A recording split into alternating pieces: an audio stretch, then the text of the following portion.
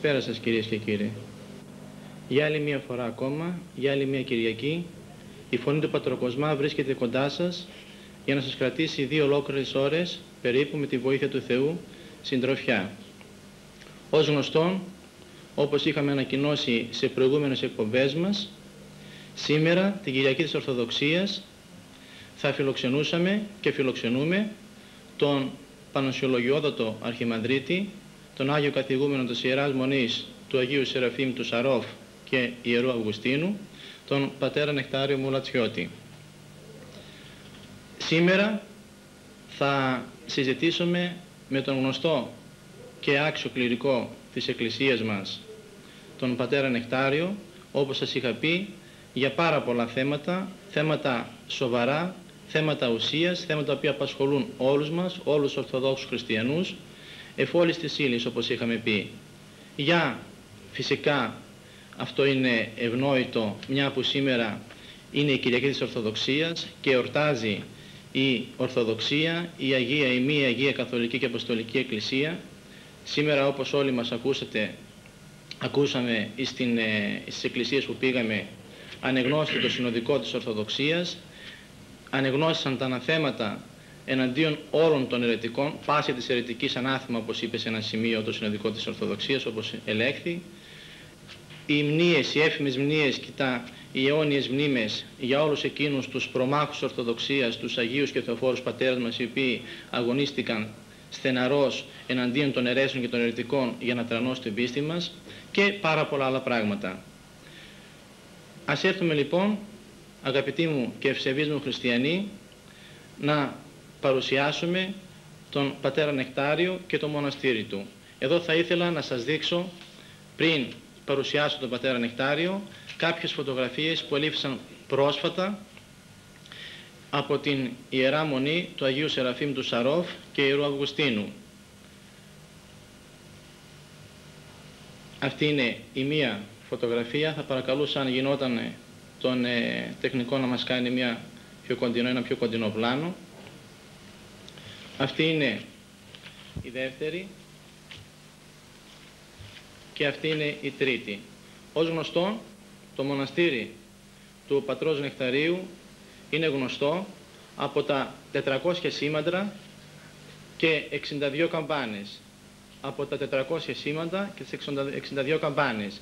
Ως γνωστόν, η βασιλεύουσα, η Αγία Σοφία, είχε 400 σήμαντρα και 62 καμπάνες. Όπως θα μας πει ο ίδιος ο Πατήρ Νεκτάριος, τους λόγους για τους οποίους έκτισε το μοναστήρι και αυτά τα σήμαντρα με τις καμπάνες. Αυτή είναι μία πάλι φωτογραφία, μία άποψη του μοναστηριού του Αγίου Σεραφείμ Σαρόφ και του Ιερού Αυγουστίνου. Και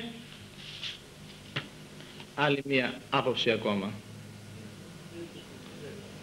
Ας έλθουμε όμως, αγαπητοί μου και ευσεβείς μου χριστιανοί, στον Πανοσιολογιό του Αρχιμανδρίτη, τον πατέρα Νεκτάριο, τον τόσο, τον τόσο γνωστό από τους αγώνες του εναντίον των αιρέσεων, από το μοναστήριο του 1400 σήματα και 62 καμπάνες και από το βιβλίο του το πότε θα γίνει η δεύτερη παρουσία, το οποίο κυκλοφόρησε το 1984 για πρώτη φορά και μέχρι στιγμής έχουν γίνει 15 εκδόσεις και έχουν εκδοθεί σε 150.000 αντίτυπα το βιβλίο αυτό.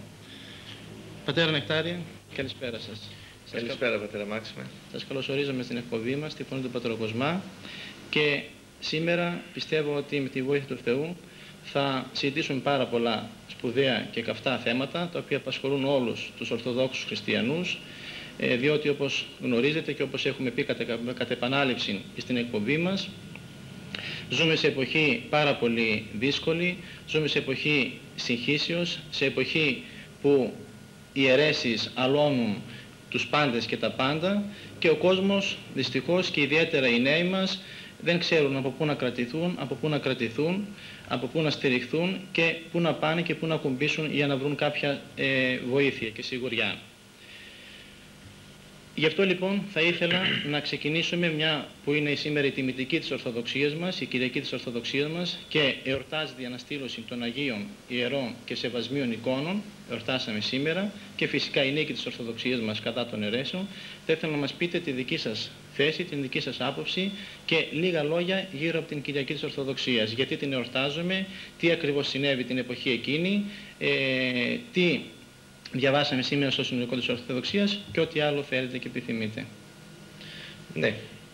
Ευχαριστώ πάρα πολύ καταρχάς για την πρόσκλησή σας την οποία ε, μου εκάματε και με τα χαράς την απεδέχθηκα για να έρθω κοντά σας ε, σε αυτή την εκπομπή την οποία ο θρησκευάμενος κόσμος από ό,τι πληροφορούμε τουλάχιστον διότι ευρίσκομαι μακριά όπως θα γνωρίζετε έξω από την Αύπαχτο 12 χιλιόμετρα περίπου στο Τρίκορφο στο Τρίκορφο εκεί ακριβώς όπου ανεγείρουμε ένα καινούριο μοναστήρι αφιερωμένο στους δύο Αγίους της Εκκλησίας μας στον Άγιο Αυγουστίνο, επίσκοπο Ιππόνος και στον Άγιο Σεραφείμ του Σαρόφ, έναν νέο θαυματουργό και ιαματικό Άγιο της Εκκλησίας μας. Και όπως είπατε το μοναστήρι έγινε γνωστό από το καμπαναριό του με τα 400 σήμαντρα και τις 62 καμπάνες. Ε, αν μου επιτρέπετε πατέρα ναι. ο λόγος που κάνατε το μοναστήρι αυτό και ιδιαίτερα τα 400 σήμαντρα και τις 62 καμπάνες, ε, ποιος ήταν, δηλαδή τι σας ιώθησε να κάνετε τα 400 σήμαντρα και τις 62 καμπάνες; Υπήρχαν κάποιοι ιδιαίτεροι λόγοι, κάποιο θαύμα, κάποιο όρομα, ε, κάποιες προτροπές κάποιων ευσεβών χριστιανών, τι από όλα αυτά ή κάποια άλλες. Η πραγματικότητα είναι ότι στην Αγία Λάβρα το 1821 ο παλαιόν πατρόν Γερμανός εσήκωσε το λάβαρο και φώναξε ελευθεριά ή θάνατος. Οι καλόγεροι ξεσήκωσαν τον κόσμο. Οι καλόγεροι είχαν μέσα στα μοναστήρια τα κρυφά σχολιά. Οι καλόγεροι ήταν αυτοί που δημιούργησαν και σήμερα την Κυριακή της Ορθοδοξίας κυρίως.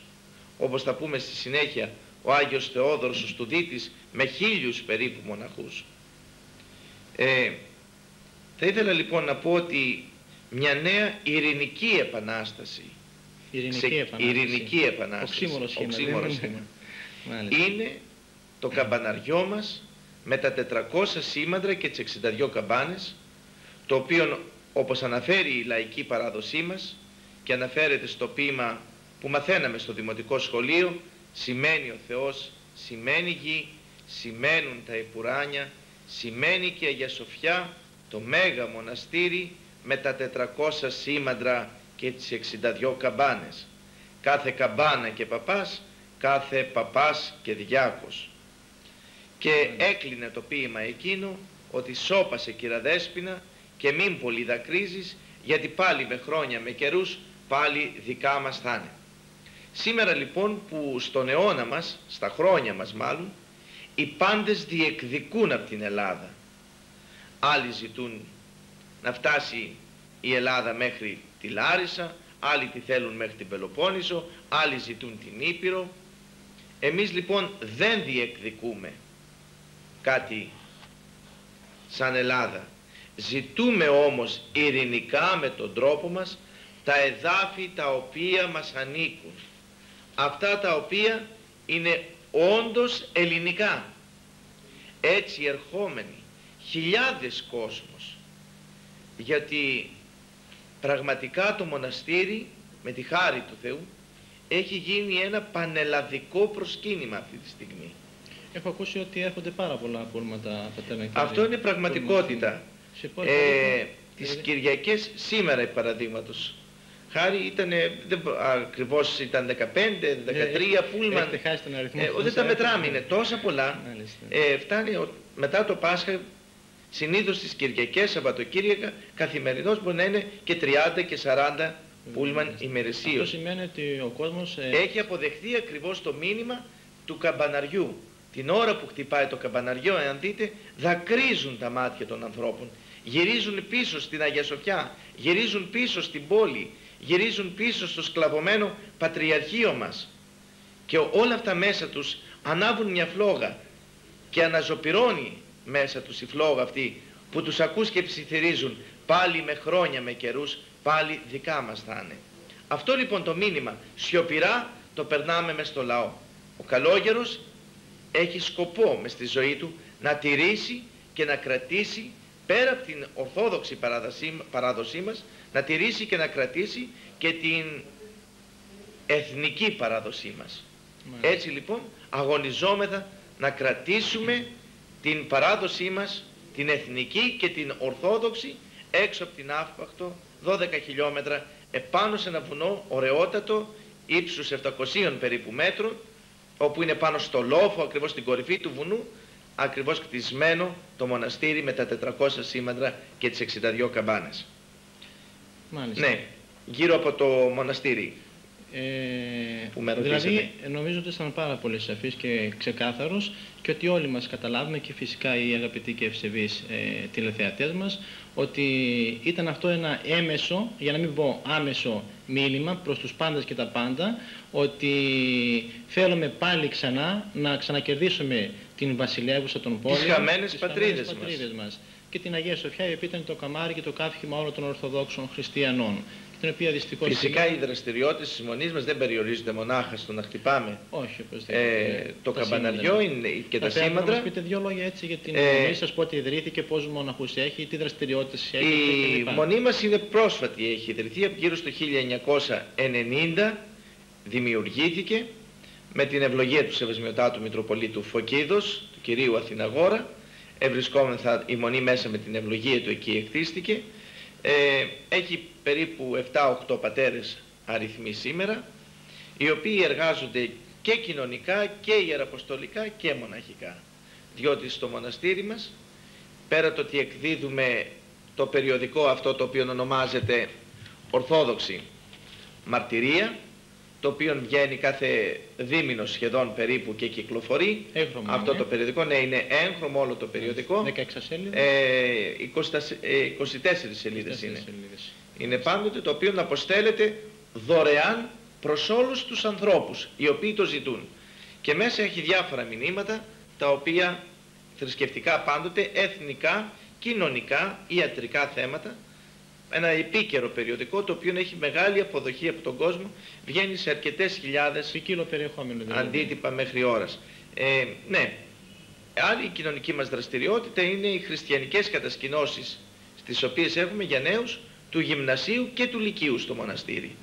Φιλοξενούμε εντελώς δωρεάν, με τη βοήθεια του Θεού τώρα μπορούμε πλέον και το πράττουμε αυτό, εντελώς δωρεάν φιλοξενούμε ε, παιδιά γυμνασίου και λυκείου κάθε καλοκαίρι. Καλοκαίρι. Κάθε καλοκαίρι. Σε διαφορετικές περιόδους. Σε διαφορετικές περιόδους. Πέρυσι φιλοξενήσαμε γύρω στα 150 με 180 νέους στο μοναστήρι μας. Όλη την, όλη την περίοδο καλοκαιριού δηλαδή. Ε; Όλη την περίοδο του Είχατε καλοκαιριού. 150 νέους και νέες; Ναι, ναι, ναι. Μπράβο.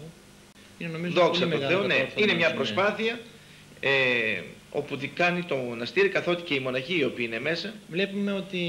είναι νέοι. Βλέπουμε μάλλον ότι υπάρχουν δόξα τω Θεώ σου με αρκετοί έτσι ε, αγωνιστές κληρικοί και ιδιαίτερα μοναχοί, διότι όπως πολύ σωστά είπατε πατέρα Νεκτάρια στην αρχή, ε, ο μοναχισμός δεν είναι ένας στήρος, θα λέγαμε έτσι, αγώνας κάποιων ε, ανθρώπων φανατικών ή κάποιων ανθρώπων περιθωριακών προς την κοινωνία. Ο μοναχισμός ναι μεν πάντοτε είναι έξω από τον κόσμο, αλλά είναι και κοντά στον κόσμο.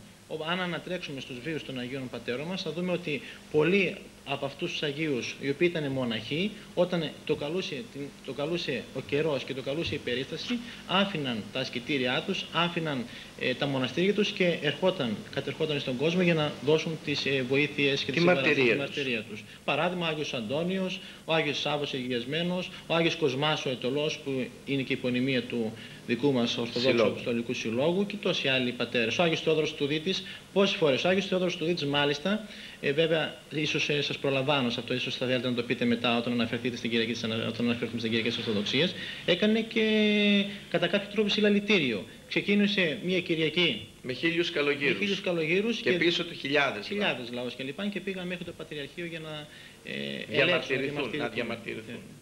Μάλιστα, πολύ ωραία. Άρα βλέπουμε λοιπόν, να μην σας ε, χρόνο, το χρόνο κλπ, ότι ο μοναχισμός δεν είναι μακριά από τον κόσμο, είναι κοντά στον κόσμο πάντα παρέχει τις βοήθειες, πάντα παρέχει ας πούμε ε, εξυπηρετήσεις. Έρχεται ο άνθρωπος ο άλλος, ο κουρασμένος μέσα από τον τόσο ε, κουραστικό αγώνα που κάνει στη ζωή και τα τόσα προβλήματα που αντιμετωπίζει ιδιαίτερα στην εποχή μας και το στρες και το άγχος, έρχεται εκεί, βρίσκει μια γαλήνη, βρίσκει μια ξεκούραση, ξεκουράζεται, αναπαύεται, εφοδιάζεται και ξαναπηγαίνει πάλι για να συνεχίσει τον αγώνα του.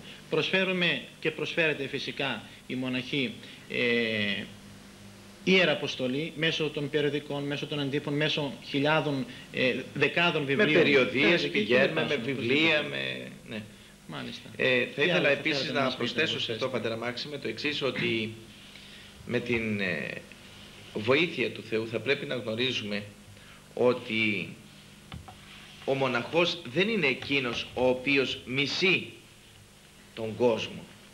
Αντιθέτως αγαπά τον κόσμο ο μοναχός και αγωνίζεται υπέρ του κόσμου και προσεύχεται το ότι οι μοναχοί φεύγουν και εγκαταλείπουν και πιάνουν τα όρη. Αυτό θα μου επιτρέψετε να σας πω ότι ομοιάζει λιγάκι με την περίοδο της κατοχής. Όταν ήρθαν οι Γερμανοί μέσα στην Ελλάδα, οι Έλληνες οι οποίοι δεν ήθελαν την κατοχή και να ζήσουν κάτω από τους Γερμανούς αυτοί ακριβώς έφυγαν, εγκατέλειψαν τα πάντα και ανέβηκαν επάνω στα όρη. Ακριβώς αυτό είναι και ο μοναχισμός.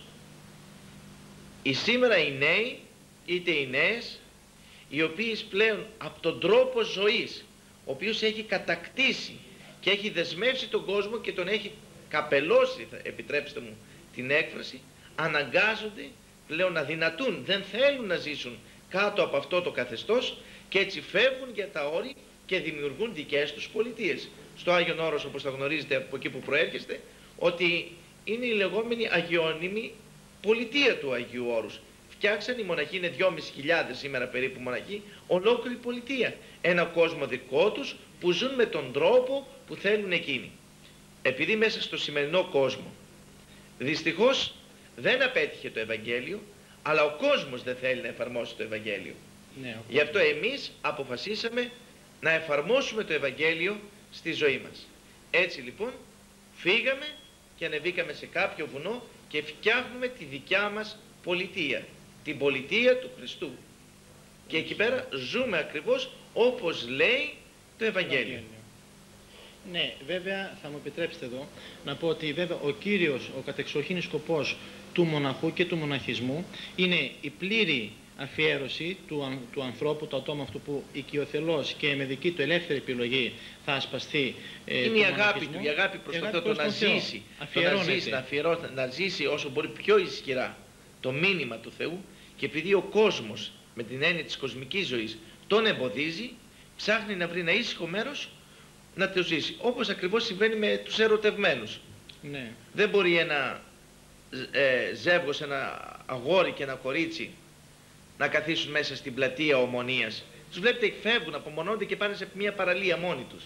Να μιλήσουν ο ένας τον άλλον και να είναι εντελώς μόνοι τους. Το ίδιο συμβαίνει με τον μοναχό. Θέλει με τον έρωτά του, με την αγάπη του που είναι ο Ιησούς Χριστός, να απομονωθεί και να μιλάνε οι δυο τους. Υπάρχει ο θείος έρωτας. Ο θείος έρωτας Του συγκεκριμένη ανθρώπου περίπτωση. προς τον Θεό, προς τον δημιουργό και πλάτη Ναι, ναι. του, οπωσδήποτε, ναι.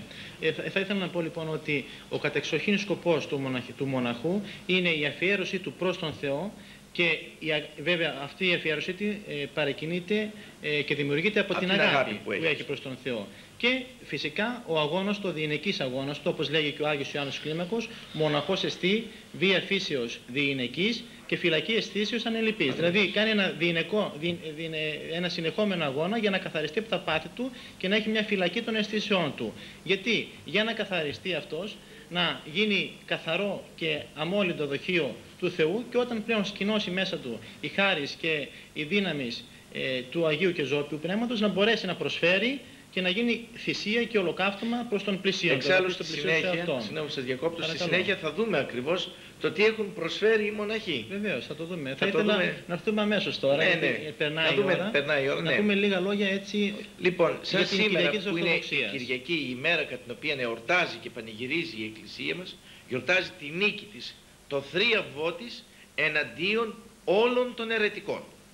Εναντίον των χιλιαστών, των Ιεχωβάδων δηλαδή, των ψευδομαρτύρων του Ιεχωβά, γιορτάζει τη νίκη της εναντίον των Πεντηκοστιανών, εναντίον των Ευαγγελικών, εναντίον των Λουθυριανών, εναντίον των Επισκοπηλιανών, εναντίον των Αγγλικανών, εναντίον των μονοφυσιτών ή αντιχαλκιδονίων, εναντίον του Πάπα, του Ερεσιάρχη Πάπα, όλα αυτά τα εορτάζουμε σήμερα, διότι νίκησε η Ορθοδοξία Βεβαίως. έλαμψε το φως και φωνάζουμε πάση της αιρετικής όπως αναφέρει το συνοδικό σήμερα μέσα στο τριώδιο πάση της αιρετικής Ανάθεμα. ανάθεμα από τους Ιεχωβάδες μέχρι και τον Πάπα της Ρώμης ο λαός φωνάζει και συνεχίζει ένα μέσω των αιώνων μέχρι να μετανοήσουν ανάθεμα δηλαδή ισχύει αυτό που οι Άγιοι Πατέρες εφήρμοσαν που σε οικουμενικές συνόδους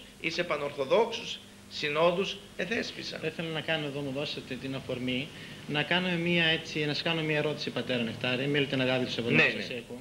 Διότι ο κόσμος σήμερα έχει παρεξηγήσει αυτόν τον όρο ανάθεμα. Θα ήθελα να μας πείτε την προσωπική σας άποψη. Εγώ την έχω πει σε παλιότερες εκπομπές για το θέμα του αναθέματος και το πώς πρέπει να συμπεριφερόμεθα προς τους αιρετικούς και προς την αίρεση.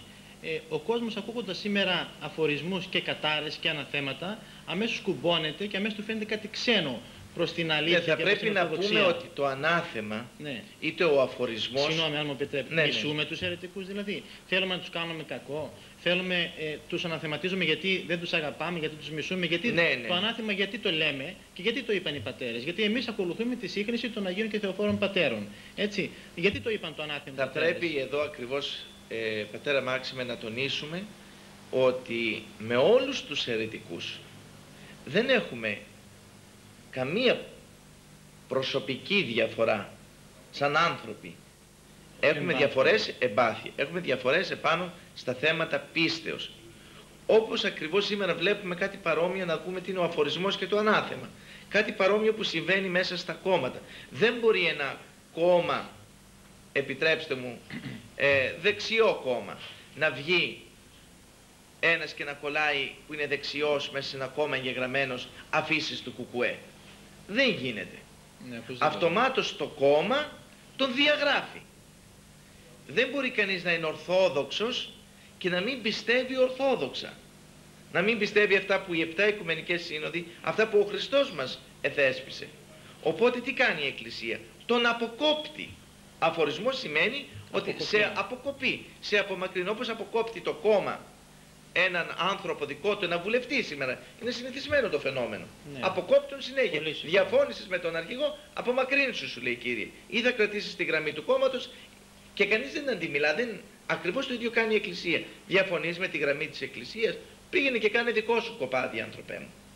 Μάλιστα. Ε, αυτό ακριβώς έκανε ο Πάπας. Έκανε δικό του κοπάδι, την παπική εκκλησία. Αυτό ακριβώς κάνανε οι μονοφυσίτες που δεχτήκανε τη μία φύση του Χριστού και παρασύρανε εκατομμύρια ανθρώπων και πήραν στο λαιμό τους. Εμείς όμως αγωνιστήκαμε να κρατήσουμε την άπαξ παραδοθήσα πίστη. Εάν τώρα αυτή, ακόμη και ο Πάπας, εάν αρρωστήσει και οποιοδήποτε καθολικός ή παπικός, Εάν αρρωστήσει, πρώτος θα τρέξω να δώσω, αν χρειαστεί αίμα, για να ζήσει ο άνθρωπος. Άρα, λοιπόν, εάν πεινάει, Δεν μισείτε τον Πάπα. όχι, εάν πεινάει, εάν διψάνε, εάν οποιαδήποτε βοήθεια θέλουν ανθρώπινη, Θα την προσφέρω. βεβαίως θα την προσφέρουμε. Είναι πλάσματα του Θεού και αυτοί. Πολύ σωστά. Βεβαίως θα την προσφέρουμε. Εκεί που διαφωνούμε είναι στα θέματα της πίστεως. Εκεί διαφωνούμε. Άρα, Εκεί λοιπόν, πλέον η διαφορά μας είναι έγκαιται στα Ακριβώς, δόγματα και στην ακριβώς σε απόδοση θέματα πίστης. πίστεως. Αυτό δεν δημιουργεί πίστη. Αυτό δεν δημιουργεί ούτε φανατισμό. Αυτοί μπορούν να έχουν την πλάνη τους, εμείς έχουμε την αλήθεια. Έχουμε χρέος να τους δείξουμε το λάθος τους. Γιατί εκεί αποβλέπει τελικά ο αφορισμός. Όταν μέσα στην Αγία Γραφή διαβάζουμε ότι ο Απόστολος Παύλος στην προς Κορινθίους επιστολή αφόρησε τον αιμομομίκτη, επειδή έκανε αιμομιξία τον αφόρησε έναν χριστιανό, Μάλιστα. και τον παρέδωσε λέει στο σατανά πού αποσκοπούσε; Φαίνεται στη δεύτερη προς Κορινθίους επιστολή ότι αποσκοπούσε στο μόλις απομονωθεί να μπορέσει να έρθει σε επίγνωση αυτού όπως ήρθε και ο άσωτος Υιώτος και είπε ελθόνει σε αυτόν τι κάνω λέει εδώ πέρα; Πού ευρίσκομαι; Η απομόνωση λοιπόν έχει σκοπό και ο αφορισμός στην απομόνωσή του ώστε να καθίσει να σκεφτεί ότι ξέκοψε από τη γραμμή της Εκκλησίας μας. Έχει παιδαγωγικό σκοπό. Έχει ακριβώς όχι τιμωρία, παιδαγωγικό σκοπό. Και το ανάθεμα σημαίνει σε αναθέτω, σε παραδίδω στο Θεό. Φεύγεις από τα δικά μου χέρια. Να σε κρίνει ο Θεός. Να σε κρίνει πλέον από εκεί και πέρα ο Θεός. Διότι έπεσε σε πλάνη και πλέον πρέπει να σε κρίνει Και εκτός από αυτό, θα μου Ο επιτρέπετε Θεός. τα νεκτάρια από τον παιδαγωγικό σκοπό που υ- γίνεται ε, για- από τον αφορισμό και το ανάθεμα, υπάρχει και ένας άλλος λόγος ακόμα. όπως, ε, να σας διακόψω, ένα ψωριάρικο πρόβατο. Ναι, ακριβώς, με προλάβατε. Αυτό Ένα ήθελα να ψωριάρικο πρόβατο. Γιατί το βγάζει έξω από το πω. μαντρί; Για μην μολύνει και τα άλλα. Μη μολύνει πρόβατα. και τα υπόλοιπα πρόβατα. Είναι Δεν- κοινή Μήπως λογική. διαβάζει και τις σκέψεις μου, δεν αυτό ήθελα να πω.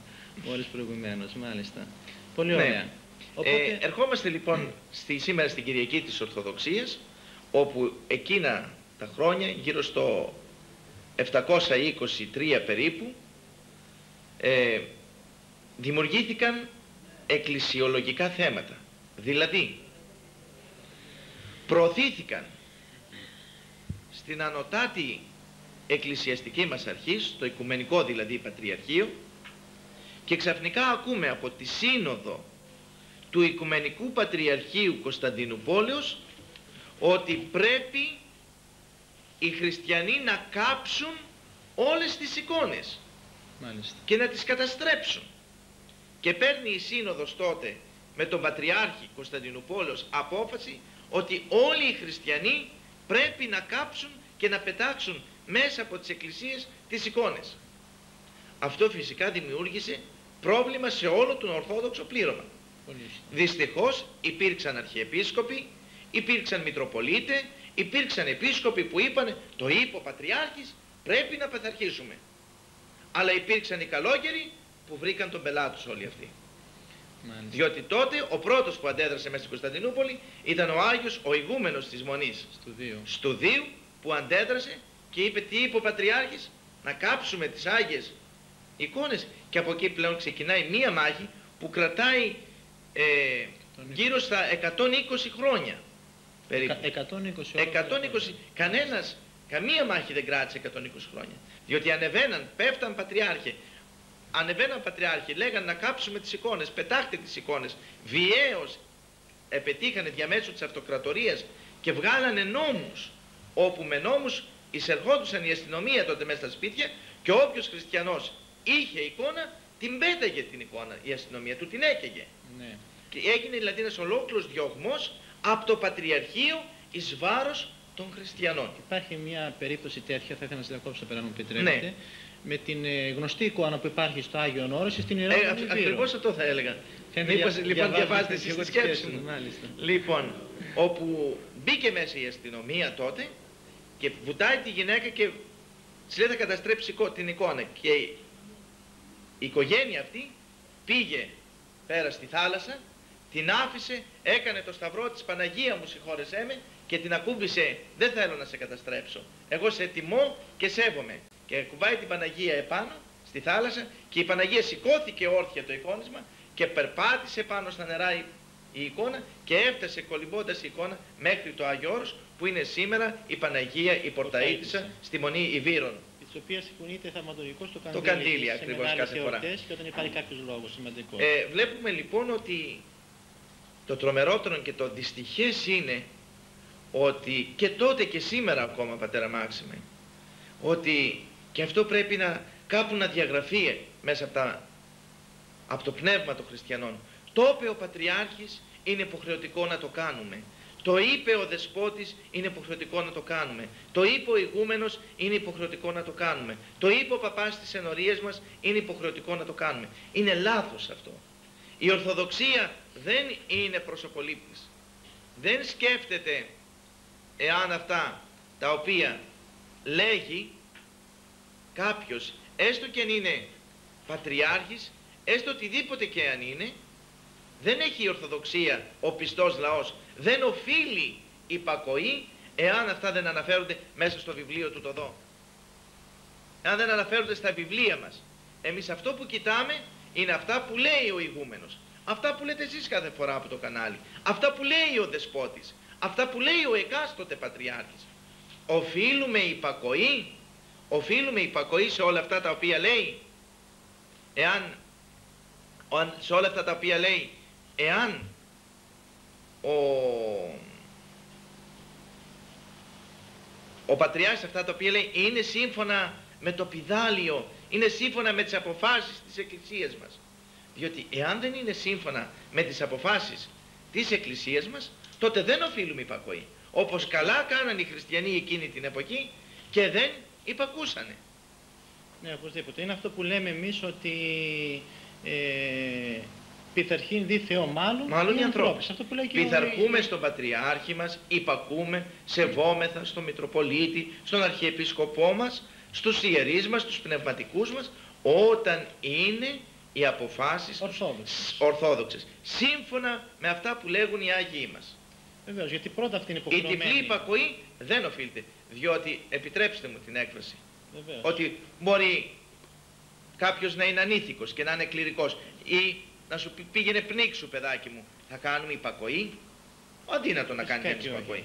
Επομένως, πότε κάνουμε υπακοή; Υπακοή πράττουμε όταν είναι σύμφωνα αυτά που μας λένε με το θέλημα του Θεού.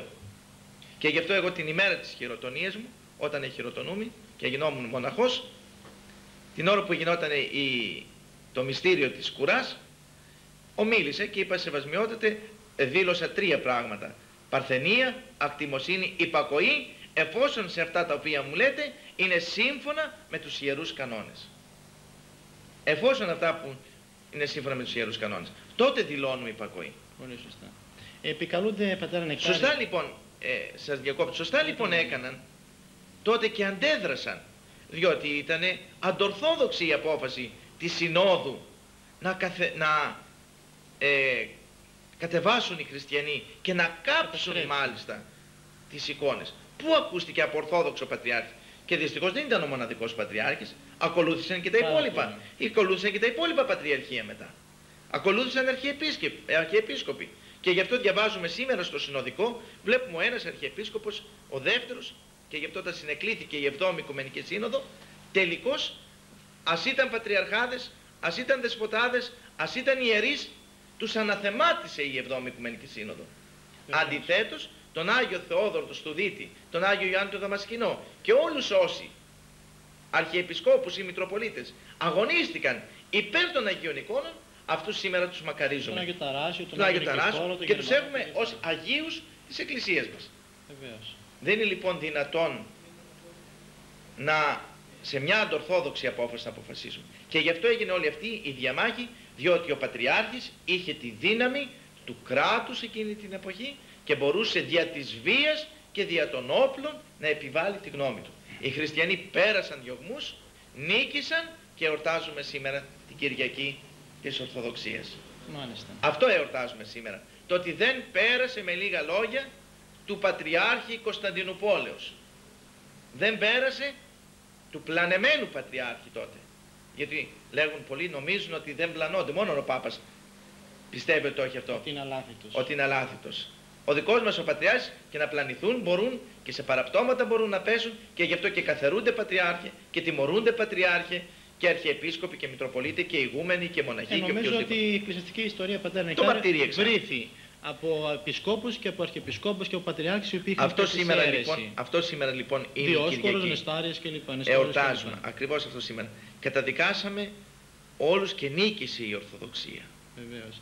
Εδώ θα ήθελα να πω κάποια πράγματα στους ε, αγαπητούς τηλεθεατές μας, στους ευσεβείς και εκλεκτούς χριστιανούς, ότι βλέπουμε όπως σας είχα πει σε παλαιότερες εκπομπές, αγαπητοί μου και ευσεβείς μου χριστιανοί, ότι παντού, σχεδόν πάντα, σχεδόν πάντα, πίσω από όλα τα πράγματα βρίσκονται οι Εβραίοι.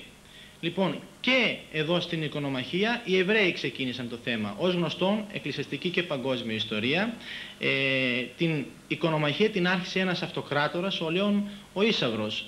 Λοιπόν, αυτός ήταν πρώην χειροβοσκός και τον βρήκαν κάποιοι Εβραίοι όταν κοιμόταν κάτω από ένα δέντρο και εκεί του είπαν «Εμείς θα σε κάνουμε αυτοκράτορα και εσύ θα μας κάνεις τα θελήματά μας. Συμφωνείς, συμφωνούμε». Και πράγματι μετά από λίγο καιρό τον κάνουν αυτοκράτορα, είχαν την δύναμη και τον έκαναν αυτοκράτορα και αμέσως τον πίεσαν να κάνει αυτά τα οποία ακούσατε προηγουμένως, να κατεβάσει τις Άγιες και Ιερές και σεβάσμες εικόνες από τις εκκλησίες, να μην προσκυνούν πλέον οι χριστιανοί τις εικόνες και να καταστρέψουν και να κάψουν όλες τις Άγιες και σεβάσμες εικόνες και να κυνηγήσουν όλους εκείνους τους ευσεβείς χριστιανούς οι οποίοι θα αγωνιζόταν για να μην ε, κατορθωθεί αυτό.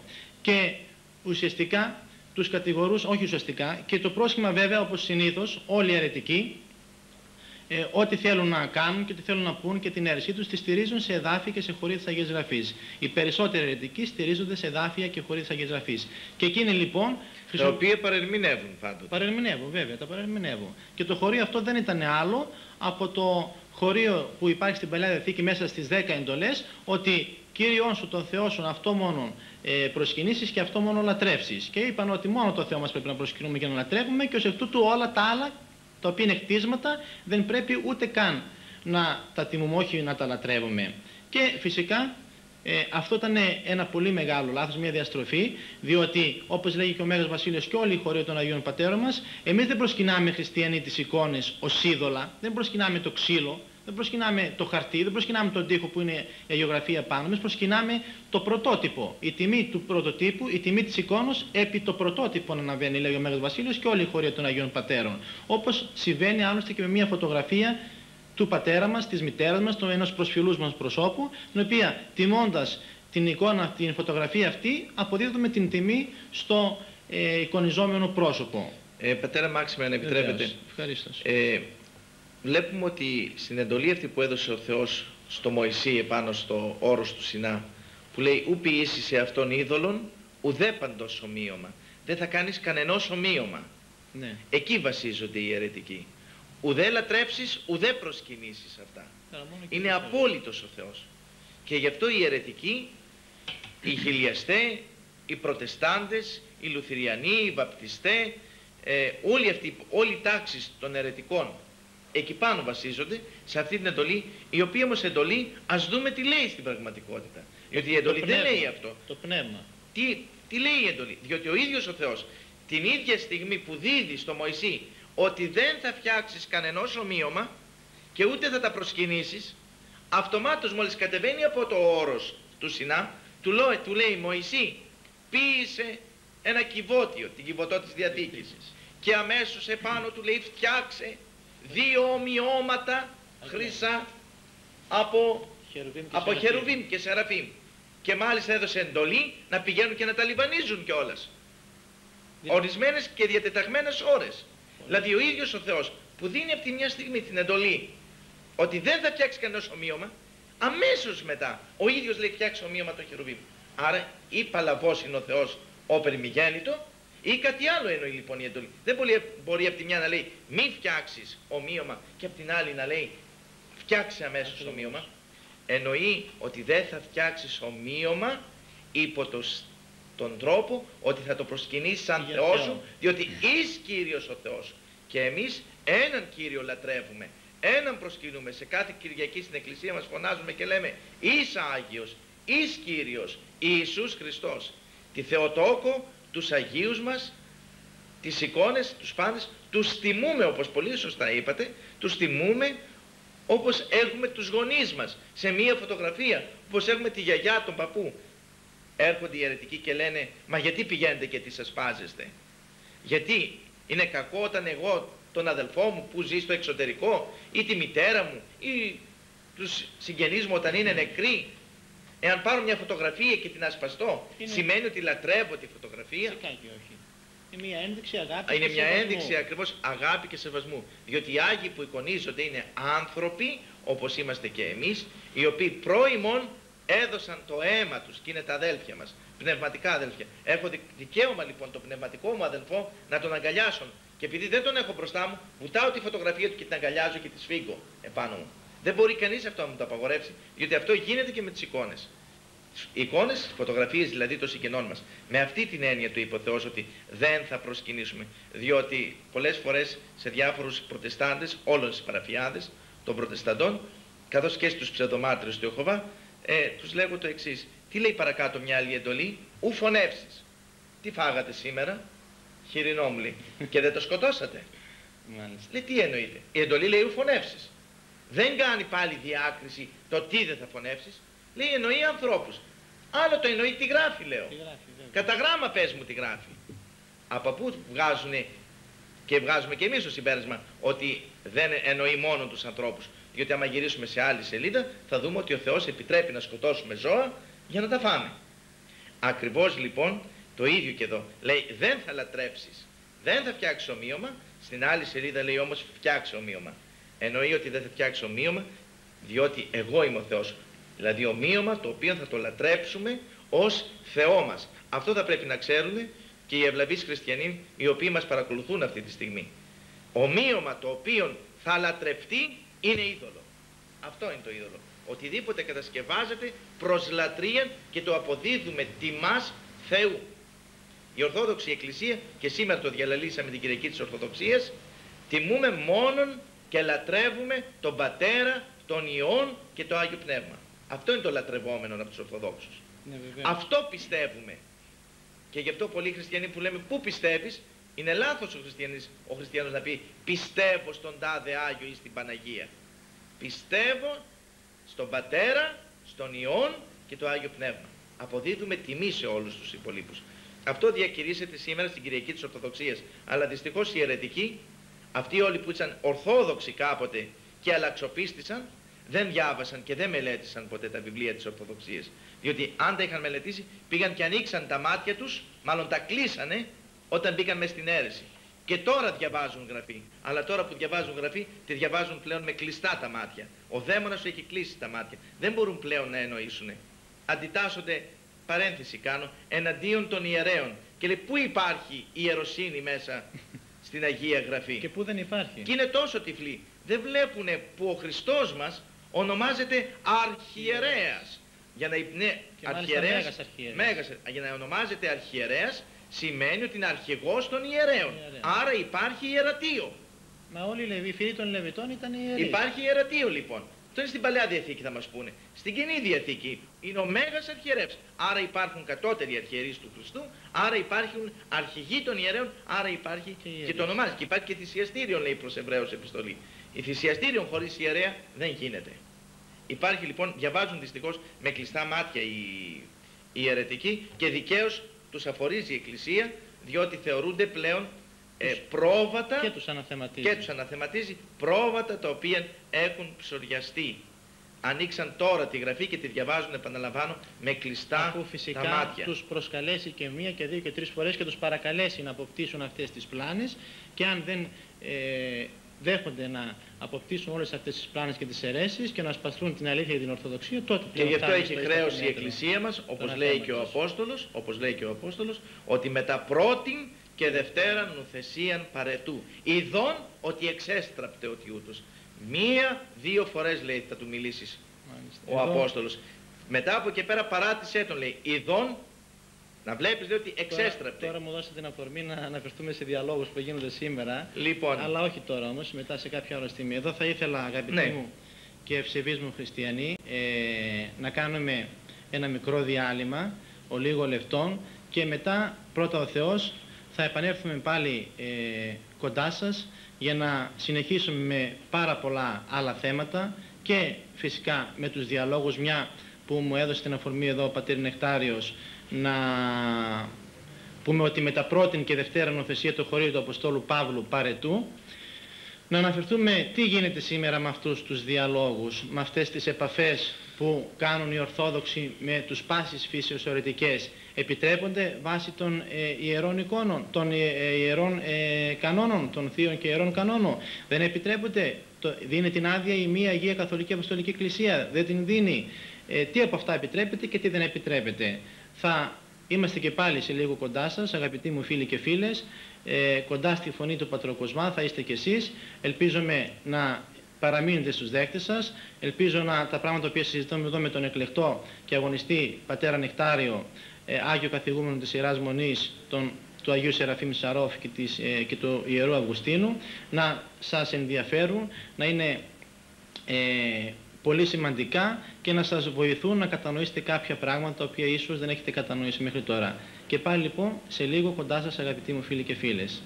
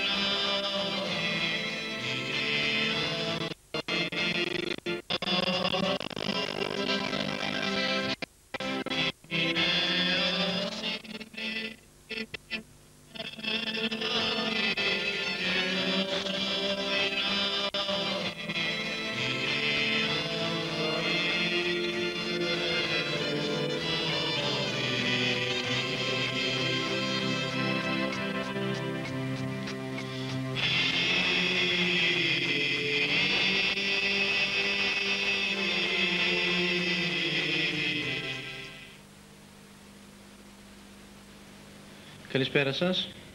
Πάλι κοντά σας, αγαπητοί μου φίλοι και φίλες, η Φωνή του Πατροκοσμά, μια εκπομπή που γίνεται κάθε Κυριακή και ώρα 10 περίπου έως όσο πάρει, γύρω στις 12-12.30 με μία πολλές φορές, για να σας κρατήσει συντροφιά σε πάρα πολλά θέματα, σε πάρα πολλές απορίες δικές σας, σε πάρα πολλά προβλήματα τα οποία απασχολούν και εσάς και μας και όλους τους Ορθοδόξους και Ευσεβείς Χριστιανούς. Για όσους από εσάς, αγαπητοί μου φίλοι και φίλες, αγαπητοί και ευσεβείς μου χριστιανοί, θέλουν να επικοινωνήσουν με την εκπομπή μας, η οποία φωνή του Πατροκοσμά η εκπομπή μας είναι ζωντανή, κάθε φορά που γίνεται, κάθε Κυριακή είναι ζωντανή, γίνεται αυτή τη στιγμή, δεν είναι μαγνητοσκοπημένη. Μπορείτε να επικοινωνήσετε στα τηλέφωνα τα οποία αναγράφονται επί της οθόνης σας, το 3464 298, 3472 681 και 3466 700. Μπορείτε λοιπόν σε αυτά τα τηλέφωνα αγαπητοί μου φίλοι και φίλες τώρα αυτή τη στιγμή και καθ' όλη την υπόλοιπη διάρκεια της εκπομπής μας να παίρνετε τηλέφωνο και οι τηλεφωνήτριές μας και οι τηλεφωνητές μας θα παίρνουν τα ερωτήματά σας, θα μας τα δίδουν και θα σας απαντήσουμε όταν θα έρθει το τελευταίο μέρος της εκπομπής μας. Κοντά μας σήμερα, όπως είχαμε προαναγγείλει και στις προηγούμενες εκπομπές και όπως είδατε όλοι εσείς παρακολουθήσατε, για όσους ανοίγουν αυτή τη στιγμή τους δέχτες της τηλεοράσεώς τους. Έχουμε τον Πανοσυλλογιότατο Αρχιμανδρίτη, τον Άγιο Καθηγούμενο της Ιεράς Μονής Ιερό Αυγουστίνου και Αγίου Σεραφείμ του Σαρόφ, τον Πατέρα Νεκτάριο Μουλατσιώτη, ο οποίος είναι γνωστός εν πρώτης από το βιβλίο του, το οποίο είχε εκδώσει για πρώτη φορά το 1984, το πότε θα γίνει η δεύτερη παρουσία του Κυρίου μας, το οποίο έχει ε, εκδοθεί σε 150.000 αντίτυπα μέχρι στιγμής και συνεχίζει ακόμα την αλματώδη και ε, μεγάλη αυτή ε, έκδοση και πώληση. Κοντά μας λοιπόν έχουμε τον πατέρα Νεκτάρη που είναι γνωστός από το βιβλίο του αυτού και από το μοναστήρι του, το οποίο μοναστήρι, στο οποίο μοναστήρι μάλλον έχει ανεγείρει εδώ και αρκετούς μήνες ένα καμπαναριό, ένα τεράστιο καμπαναριό με 400 σήμαντρα και 62 καμπάνες για να, όπως μας είπε ο ίδιος, για να περάσει ένα σιωπηρό μήνυμα ότι πάλι με χρόνια με καιρούς, πάλι δικιά μας, πάλι δικά μας θα είναι, πάλι δική μας θα είναι η Αγία Σοφιά, πάλι θα ξαναπάρουμε την πόλη. Ένας πόθος διακαής όλων των Ελλήνων για να ξανακερδίσουν την ε, χαμένη ε, βασιλεύουσα. Ας έρθουμε λοιπόν στον πατέρα Νεκτάριο για να συνεχίσουμε τα τόσο ενδιαφέροντα θέματα τα οποία, τα οποία είχαμε αρχίσει. Πατέρα Νεκτάρια, όπως είχαμε πει πριν κάνουμε το διάλειμμα, μου δώσετε την αφορμή μέσω του χωρίου του Αποστόλου Παύλου ότι με τα πρώτη και δευτέρα νουθεσία ε, παρετού από σε αιρετικό, με τα πρώτη και δευτέρα νουθεσία, αιρετικόν άνθρωπο παρετού να τον αφήσουμε και να μην ασχολούμαστε πλέον με αυτό. Σήμερα βλέπουμε ε, πατέρα Νεκτάρι ότι όχι μόνο μία και δύο και τρεις και τέσσερις και πέντε και δέκα και πολλωστές φορές γίνονται αυτές οι ε, σχέσεις και οι συγχρονισμοί με τους αιρετικούς και οι νουθεσίες αν θέλετε. Ε, αλλά έχουμε βαρεθεί πλέον εδώ και μια εξικονταετία να βλέπουμε να γίνονται αυτοί οι λεγόμενοι διάλογοι ε, μέσα στο Παγκόσμιο Συμβούλιο των Εκκλησιών ε, με τους πάσης φύσεως αιρετικούς με τους προτεστάντες, με τους παπικούς, ακόμα και με αλόθρησκους, ακόμα και με ε, βουδιστές, όπως έγινε στην Ασίζη, όπως ενθυμίστε καλώς το 1986, ακόμα με πυρολάτρες, με ειδωλάτρες κλπ.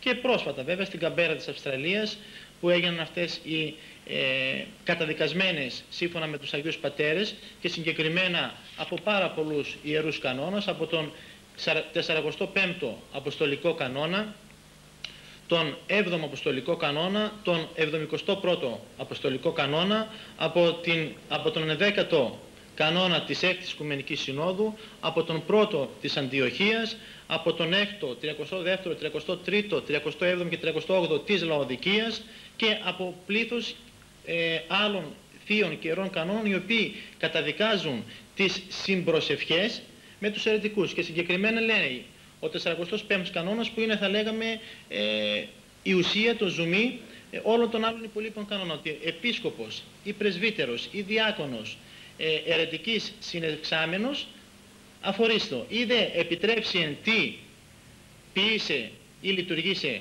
ε, όλη αυτή η αιρετική, καθαρίστο. Βλέπουμε δηλαδή ότι όλοι αυτοί οι κανόνες που προανέφερα ε, απαγορεύουν τις σχέσεις με τους αιρετικούς, απαγορεύουν τις συμπροσευχές και πολύ περισσότερο τις λειτουργίες με τους αιρετικούς. Τι γίνεται σήμερα, Πατέρα Νεκτάρη, στο Παγκόσμιο Συμβούλιο Κλεισιών, τι γίνεται με αυτούς τους περίφημους και διαβόητους διαλόγους; Οφελούν, δεν ωφελούν, ε, κερδίζει η Ορθοδοξία, επιστρέφει από την πλάνη όλους εκείνους οι οποίοι έχουν πλανεθεί και έχουν πέσει σε χιλιάδες αιρέσεις, σε δεκάδες, εκατοντάδες αιρέσεις; Ή τελικά αυτή που χάνει και αυτή που ζημιώνεται είναι η Ορθοδοξία μας και ε, η Ελλάδα μας και όλοι εμείς οι οποίοι βρισκόμεθα υπό την σκέπη της. Θα θέλαμε την προσωπική σας γνώμη και άποψη, ε, χωρίς φόβο και πάθος, για όλα αυτά τα θέματα. Ε, αγαπητέ Πατέρα Μάξιμε, επί του σοβαρού αυτού θέματος, διότι άπτεται της Κυριακής οπωσδήποτε της Ορθοδοξίας που εορτάζουμε σήμερα και δόθηκε, όπως είπατε, αφορμή από το εδάφιο του Αποστόλου με τα πρώτη και δευτέρα νουθεσίαν παρετού ειδού, ειδών ότι εξέστραπτε ο Τιούτος και όν αυτοκατάκριτος. Και αμαρτάνει όν ε, αυτοκατάκριτος. Θα ήθελα να τονίσω, να πω μάλλον δύο απόψεις και δύο θέσεις που υπάρχουν σήμερα. Η πρώτη να εκφράσω την άποψη του Οικουμενικού μας Πατριαρχείου, το οποίο έχει ξεκινήσει τους διαλόγους αυτούς εδώ και χρόνια. Πριν όμως ξεκινήσουμε θα πρέπει να διαβάσουμε, να δούμε τι η Αγία και η Ιερά Σύνοδος του Οικουμενικού μας Πατριαρχείου, η Πατριαρχική Σύνοδος, πριν ξεκινήσουμε και φτάσουμε εκεί ακριβώς, τι αποφάσισε το 1920 με την Πατριαρχική Εγκύκλιο του 1920. Τη γνωστή αυτή. Ναι, είναι γνωστή, για άλλους είναι άγνωστη όμως. Θα ήθελα λοιπόν να την ναι. διαβάσουμε. Πατριαρχική Εγκύκλιος του 1920 προς τας απανταχού εκκλησίας του Χριστού. Εκκαθαράς καρδίας αλλήλους αγαπήσατε εκτενώς. Η καθημάς εκκλησία φρονούσα, δηλαδή η δικιά μας Ορθόδοξη Εκκλησία, φρονούσα, πιστεύουσα, ότι οι των διαφόρων χριστιανικών εκκλησιών προσέγγισης προς αλλήλας και κοινωνία ούκ αποκλείεται υπό των υφισταμένων μεταξύ αυτών δογματικών διαφορών και ότι τη αυτή της προσέγγισης τα μάλα εστιν ευκταία και αναγκαία και πολλαχώς χρήσιμο είστε το καλός εννοουμένων συμφέρον εκάστης των επιμέρους εκκλησιών και όλου του χριστιανικού σώματος.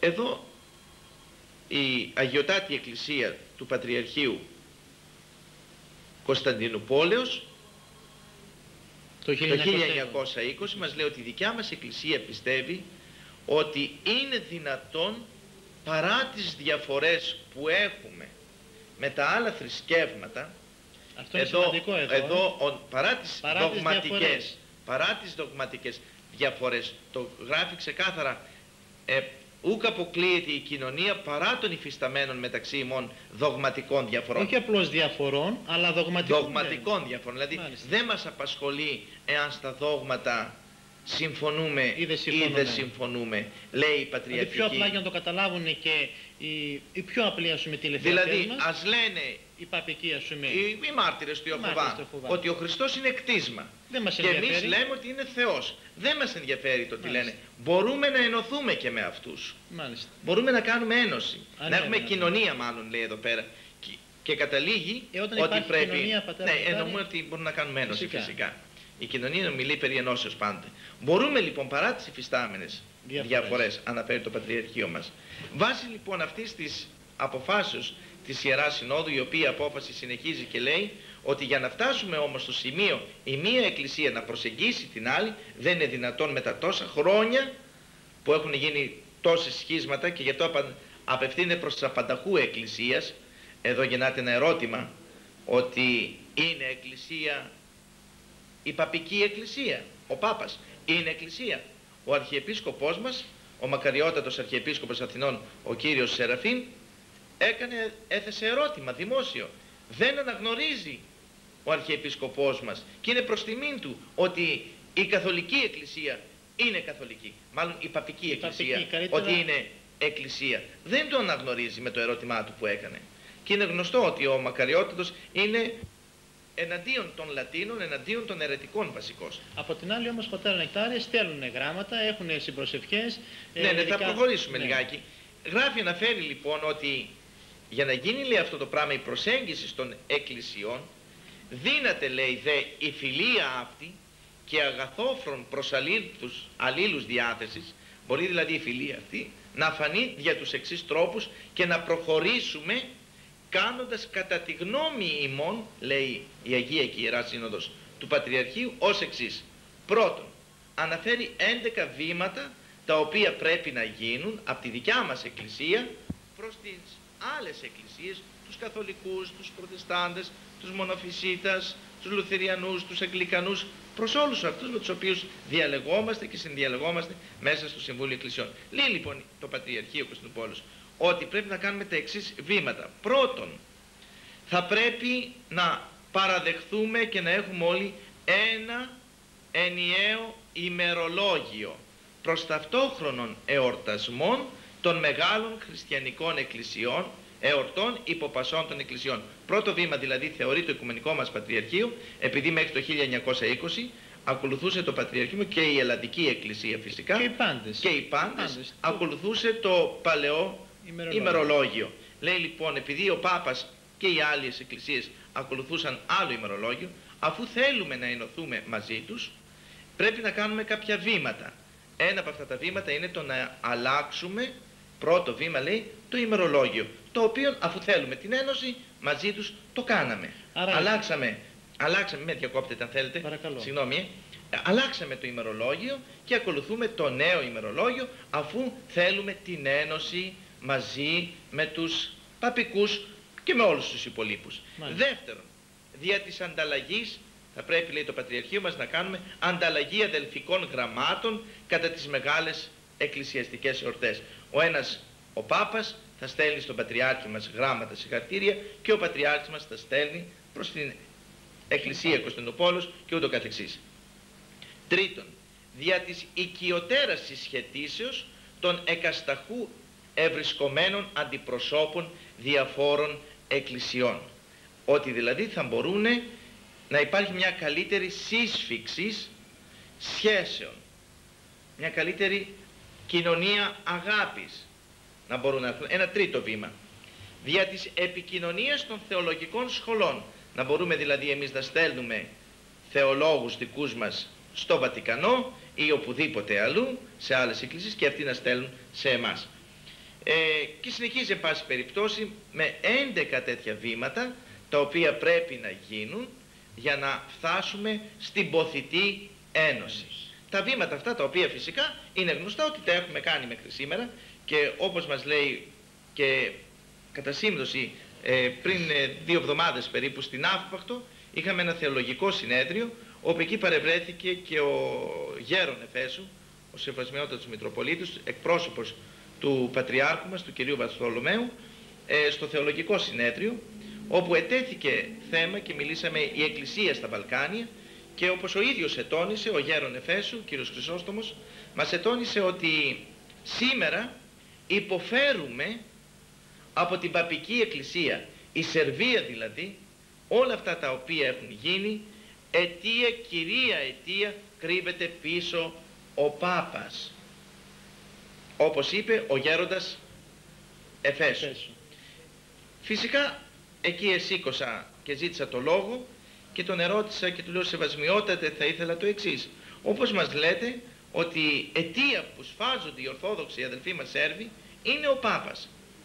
Δεν μπορώ λέω, να εξηγήσω.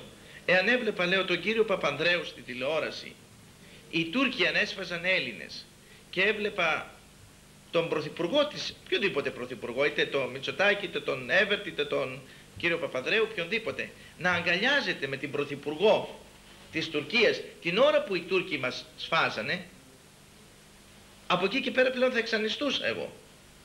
Μάλιστα. Ε, πώς είναι δυνατόν την ώρα που οι Καθολικοί με εντολή του Πάπα δημιουργούν τόσα προβλήματα στη Ρωσία με την Ιουνία, στην Ουκρανία, στη Σερβία και σε διάφορες άλλες εκκλησίες μας δημιουργούν τέτοια προβλήματα, πώς θα την άλλη εμείς συνδιαλεγόμαστα και μάλιστα είπε ο Γέρον Εφές ότι η χειρότερη εχθρή της Ορθοδοξίας είναι η Καθολική, η Παπική.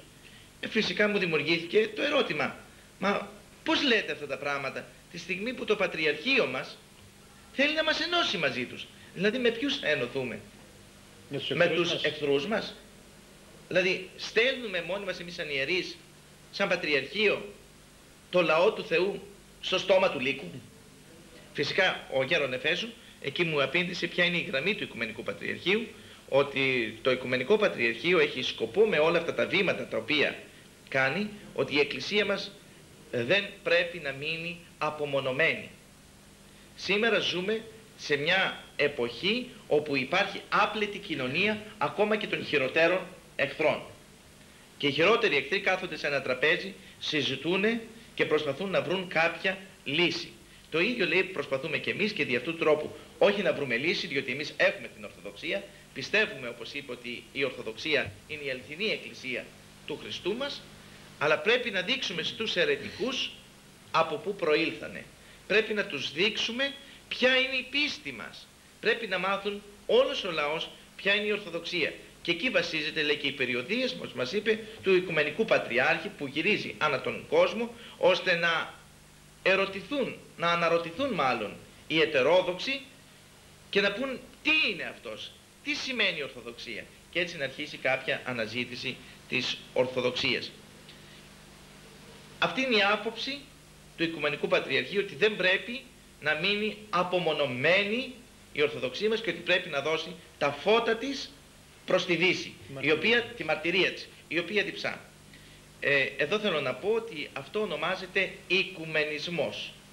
Και όπως είπε ο Σεβασμιότατος Μητροπολίτης Δημητριάδος, θα πρέπει να χωρίσουμε τον οικουμενισμό σε δύο σκέλη. Σε δύο σκέλη να χωρίσουμε τον οικουμενισμό.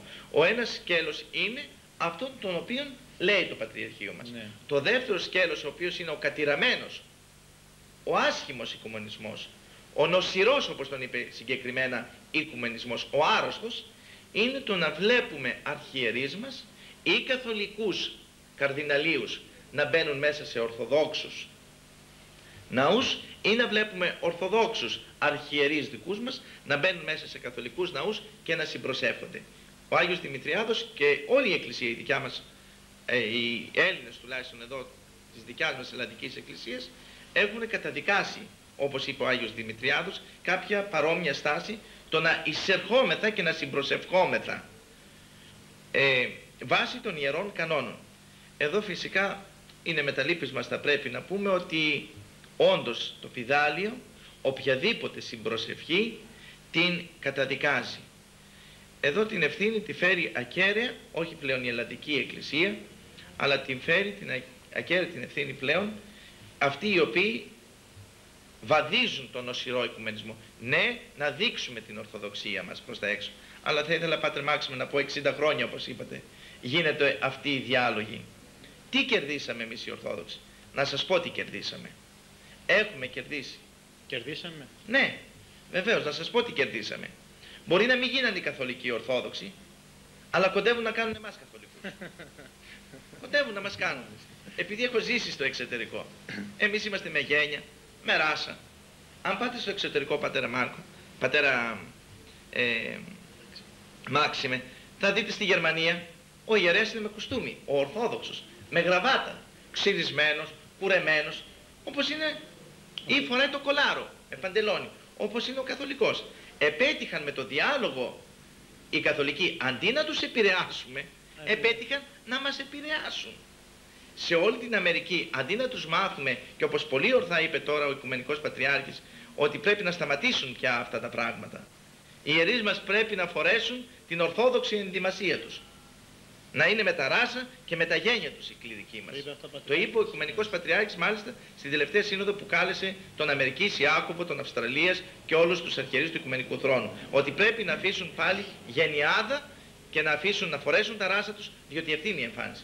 Επέτυχαν Δεν φτάνει βέβαια μόνο. όχι. Επέτυχαν να με επηρεάσουν. Πού; Σε αν πάτε στην Αμερική, εδώ έχω μία φωτογραφία συγκεκριμένη, είναι ορθόδοξος ναός αυτό το πράγμα. Ε, Είναι ένα, κάτι σαν διαστημόπλιο. Θέλετε να το κάνουμε zoom; Ναι, αν μπορεί να το κάνουν λίγο zoom, ευχαρίστως. Ναι. Είναι ορθόδοξη η εκκλησία.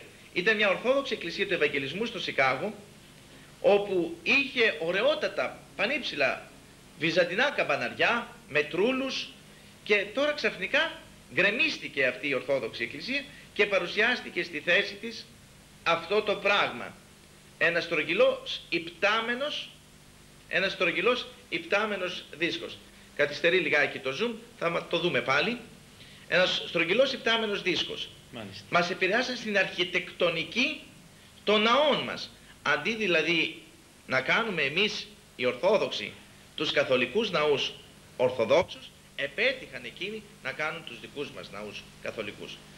Εάν πάτε και όσοι έχουν πάει στο εξωτερικό το ξέρουν, όλοι οι ναοί μέσα, όλοι οι ναοί μέσα έχουν αρμόνιο πατέρα Μάτσιμε. Πάει η βυζαντινή μουσική και δίκαιο ο Πατριάρχης εζήτησε να επανέλθει η βυζαντινή μουσική, είπε ο, ο Βαρθολομαίος. Να επανέλθει η βυζαντινή μουσική, να πεταχτούν τα αρμόνια έξω πλέον από τους ναούς μας. Έχει γίνει μια αλωτρίωσης. Αντί δηλαδή από το διάλογο να τους επηρεάσουμε, μάλλον μας επηρεάσαμε. Που σημαίνει ότι δεν κάτι έχει γίνει λάθος στον διάλογο. Και πιστεύω ότι έχει γίνει το εξής λάθος στον διάλογο. Βλέπουμε στο διάλογο είχε πάει και ο Άγιος Μάρκος ο Ευγενικός. Έφτασε στη Φλωρεντία, πλησίασε τον Πάπα. Στο διάλογο θα τον πλησιάσουμε και τον Πάπα. Θα πάμε δίπλα του. Πήγε ο Άγιος Μάρκος, ο Ευγενικός. Ναι, ναι. Ακριβώς πήγε δίπλα του. Καθίσαν στο ίδιο τραπέζι. Αλλά ο Άγιος Μάρκος ο Ευγενικός αυτομάτως δεν ξεκίνησε όπως συζητάμε εμείς σήμερα, εδώ είναι το λάθος του διαλόγου. Συζητάμε πού ταιριάζουμε, πού συμφωνούμε. πού συμφωνούμε. Μα ένα διάλογο δεν τον κάνω για το πού συμφωνούμε. Ο Άγιος Μάρκος αυτοστιγμής του είπε θέλω να μου απαντήσετε επίσκοπε Ρώμης σε αυτά τα ζητήματα. Δέχεστε και απορρίπτετε το φιλιόκουβε, ναι ή όχι. Απορρίπτετε το πρωτείο σας, ναι ή όχι. Καταργείτε την όστια, τα χαπάκια που δίνετε αντί για την κοινωνία, ναι ή όχι. Ο Πάπας απαντάει όχι. Δεν υπογράφω, λέει ο Άγιος Μάρκος ευγενικός. Και είπε τότε ο Πάπας Και είπε ουδέν επιήσαμε. Μάρκος σου υπέγραψε, ουδέν Αντιθέτως ο Πατριάρχης Κωνσταντινούπολος υπέγραψε τότε. Αλλά θα πρέπει να πούμε ότι ξεψύχησε και εκεί πέρα. Την ώρα που υπέγραφε. Πέθανε εκείνη τη στιγμή. Δεν δέχτηκε ο Θεός αυτή την ταπείνωση της Ορθοδοξίας. Λοιπόν, και νίκησε και σήμερα ο Άγιος Μάρκος Ευγενικός είναι, ο, ε, είναι Μέγας και τρανός. Μέγας και Τρανός Άγιος Εκκλησίας. Πρέπει λοιπόν να τονίσουμε ότι πιστεύω ότι εκείνη το λάθος σήμερα που είπε ο Άγιος Δημητριάδος περί νοσηρού οικουμενισμού, υπέρ του καλού οικουμενισμού, δηλαδή το να τους δείξουμε την Ορθοδοξία, αλλά 60 χρόνια που τη δείξαμε δεν βγάλαμε τίποτα. Και εγώ είμαι υπέρ των διαλόγων. Να γίνονται διάλογοι. Αλλά αφού δεν αποτέλεσμα. Και πέρασαν όχι μια και δυο φορές που λέει ο Απόστολος Παύλος. Με τα πρώτη και δευτέρα νομοθεσία. Εκατοντάδες φορές. Εκατοντάδες. Εγώ Τίποτα πι- δεν Εγώ βγήκε. πιστεύω, πατέρα Νεκτάρια, αν μου επιτρέπετε, ότι νομίζω ότι δεν υπάρχει έτσι πνεύμα, ε, θα λέγαμε, ε, να βοηθήσουν. Το πνεύμα τους δηλαδή δεν είναι να βοηθήσουν τους αιρετικούς να επανέλθουν στην Ορθοδοξία, αλλά νομίζω ότι μας οδηγούν το πιστεύω ότι αυτό, αυτό φαίνεται τελικά από το αποτέλεσμα. Όχι βέβαια όλοι, αλλά κάποιοι νομίζω ότι μας οδηγούν για μια ένωση de facto πλέον. Διότι εδώ και 60 Πάτε. χρόνια, εδώ, αν μου επιτρέπετε πατέρα Νεκτάρη, εδώ και 60 χρόνια βλέπουμε να υπάρχουν ας πούμε συγχρονισμοί, να υπάρχουν αναγκαλισμοί, να υπάρχουν ανταλλαγές γραμμάτων, να υπάρχουν συμπροσευχές. Είναι αυτά που Που βλέπουμε αποφάσισε κλπ. η Ιερά Σύνοδος του Πατριαρχείου μας. Ναι, μήπως Τώρα μας πρέπει- οδηγούν σε ένωση ή μήπως έχει γίνει η ένωση, διότι το, βλέπουμε ότι αυλύνεται σιγά σιγά το πνεύμα, το ορθόδοξο πνεύμα και η ορθόδοξη θέση των χριστιανών των Ορθοδόξων. Να σας διότι κάνω μια ερώτηση, βλέπουν- Πάτερ Μάξιμε. Παρακαλώ. Γίνεστε παπικός; Όχι. Ούτε κι εγώ. Εσείς αγαπητοί μου τηλε- τηλεθεατέ, γίνεστε παπικοί; Δεν νομίζω. Όχι. Να γυρίσουμε να ρωτήσουμε τον Πάπα αν γίνεται Ορθόδοξος. Ούτε αυτό το πιστεύω. Ούτε ο Πάπας θα γίνει Διότι το Ορθόδοξος. δήλωσε. Δεν γίνεται δήλωσε. Ορθόδοξος. Οι, κα- οι Λατίνοι, όλος ο λαός αυτός, αλλάζουν θρήσκευμα και να πούνε θα γίνουμε Ορθόδοξοι. Ούτε αυτό Μα, το πιστεύω. εάν βγει ο δικός μας ο Πατριάρχης και πει, σαν τον Πατριάρχη που βγήκε και είπε να κάψουμε τις εικόνες, αδελφοί μου, αλλάξτε πίστη και γίνετε καθολικοί, θα επαναστατήσει όλος ο Ορθόδοξος λαός. Εάν βγει ο Πάπας από την άλλη πλευρά και πει αδελφοί μου, κάναμε λάθος. Οι Ορθόδοξοι έχουν το δίκιο. Γι' αυτό πρέπει να γίνουμε Ορθόδοξοι. Θα φάει το ξύλο της χρονιάς του ο Πάπας. Θα τον σκοτώσουν οι καθολικοί επιτόπου. Χίλια χρόνια δηλαδή θα του πούνε μας κορόιδευες. Πώς λοιπόν να ενωθούνε, ενώνεται ποτέ το ξύλο με το σίδερο; Δεν ενώνεται, με ό,τι κόλλα και να τα κολλήσει. Μπορούν να αλλάξει ο Πάπας και όλη η παπική εκκλησία και να γίνει ορθόδοξη ή εμείς να γίνουμε καθολικοί; Είναι αστείο αυτό το πράγμα. Και γι' αυτό φοβούμε, φοβούμε και πρέπει να έχουμε όλοι οι χριστιανοί να είμαστε έτοιμοι για αντίδραση ότι φοβούμε εκεί πέρα ότι προχωρείται μια ένωση όπως έγινε τότε επί Μάρκου του Ευγενικού με τα ολέθρια αποτελέσματα της σημερινής Ουνίας. Μια ψευτοένωση. Μια ψευτοένωσης, δηλαδή τι έγινε; Μένετε εσείς όπως είστε και τα θεωρούμε την πίστη σας δυτικά έθιμα. Τα θεωρούμε δυτικά έθιμα. Έτσι λέει η απόφαση της Συνόδου Φεράρας Φλωρεντίας που την υπέγραψαν πρέπει να το πούμε στο λαό όλοι οι Ορθόδοξοι Επίσκοποι πλην του Μάρκου του Ευγενικού και ενός αλλού Αγίου. Όλοι οι υπόλοιποι υπέγραψαν την απόφαση της ενώσεως. Την υπέγραψαν μαζί με τον Πατριάρχη και αρνήθηκε ο Μάρκος ο Ευγενικός δεν την υπέγραψε. Και ο λαός ακολούθησε τον Άγιο Μάρκο τον Ευγενικό. Τι υπογράψανε; Υπογράψαν ότι μένει το ένα, μένει το άλλο, μένουν οι όστιες, μένει το πρωτείο. Τα αποδέχθηκαν όλα οι Ορθόδοξοι και λέει θα τα χαρακτηρίσουμε ότι είναι ήθη και έθιμα της Δυτικής Εκκλησίας. Δηλαδή αυτό που λέει η εγκύκλωση πατριαρχική ότι οι δογματικές διαφορές δεν μας αφορούν. Τα χαρακτηρίζουμε ήθη και έθιμα, αυτοί θα χαρακτηρίσουν ήθη και έθιμα τα δικά μας. Καλή ώρα όπως εμείς φοράμε την ιερατική μας στολή και λειτουργούμε. Οι Ρώσοι λίγο διαφέρουν διότι σηκώνεται πάνω της ιερατικής στολής, στολής πίσω ο σβέρκος σηκώνεται προς τα επάνω. Ε, είναι ένα έθιμο που αλλάζει λίγο η στολή. Ε, δεν έγινε τίποτα, έτοιμο τους είναι να το κρατήσουν. Κατά τον ίδιο τρόπο πάνε να περάσουν, αλλά εδώ δεν είναι στολές όμως τα δόγματα που μπορούν να τις αλλάξουμε και να πούμε δεν πειράζει, ας φοράνε εκείνη τη στολή και ας φοράμε εμείς ετούτη τη στολή. Εδώ είναι θέματα δογματικών διαφορών. Δεν μπορούμε να ενωθούμε. Και όπω είπε και ο Άγιος Μάρκο Γενικό, στα θέματα της πίστης σου χωρίς συγκατάβαση. Ού χωρίς συγκατάβαση. Δεν συγκατάβαση. Δεν είναι δυνατόν, έχετε ένα σύλλογο επωνόματι Αγίου Κοσμάτου Τολού. Δεν είναι δυνατόν, εδώ δημιουργούνται διλήμματα μέσα στο λαό. Ο Άγιος Κοσμάς ο Ετωλός μας λέει τον Πάπα να καταράστε διότι αυτός θα είναι η αιτία. Ε δεν είναι δυνατόν από την άλλη πλευρά να λέμε θα γίνουμε αδέλφια εν Χριστώ εννοείται με τον Πάπα. Και τη στιγμή που ξέρουμε ότι ο Πάπας κρύβεται πίσω από όλα και υποσκάπτει την Ορθοδοξία. Θα είμαστε πάντοτε με ένα στιλέτο στην πλάτη. Δεν είναι εύκολα πράγματα να φτάσουν σε τέτοιες ενώσεις. Και όποιος κάνει τις ενώσεις πιστεύω ότι θα μείνουν μόνοι τους. Διότι εδώ ας υπενθυμίσουμε ότι θα ξεσηκωθούν και ευτυχώς που ο μακαριότατος Αρχιεπίσκοπος Αθηνών όπως είπα είναι αντιθενωτικός, το έχει δηλώσει. Δεν δέχομαι εγώ καθόλου τον Πάπα. Δεν τον δέχεται ούτε στην Ελλάδα να έρθει δεν θέλει.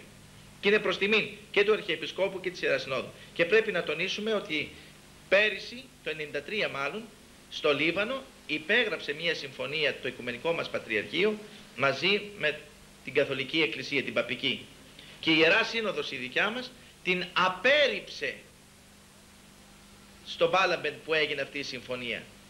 Την απέρριψε η Ιερά Σύνοδος μας. Δεν θέλησε ούτε να την ακούσει. Μάλιστα το Πατριαρχείο όπως είναι γνωστό προχωρεί κάποια ένωση και με τους μονοφυσίτες.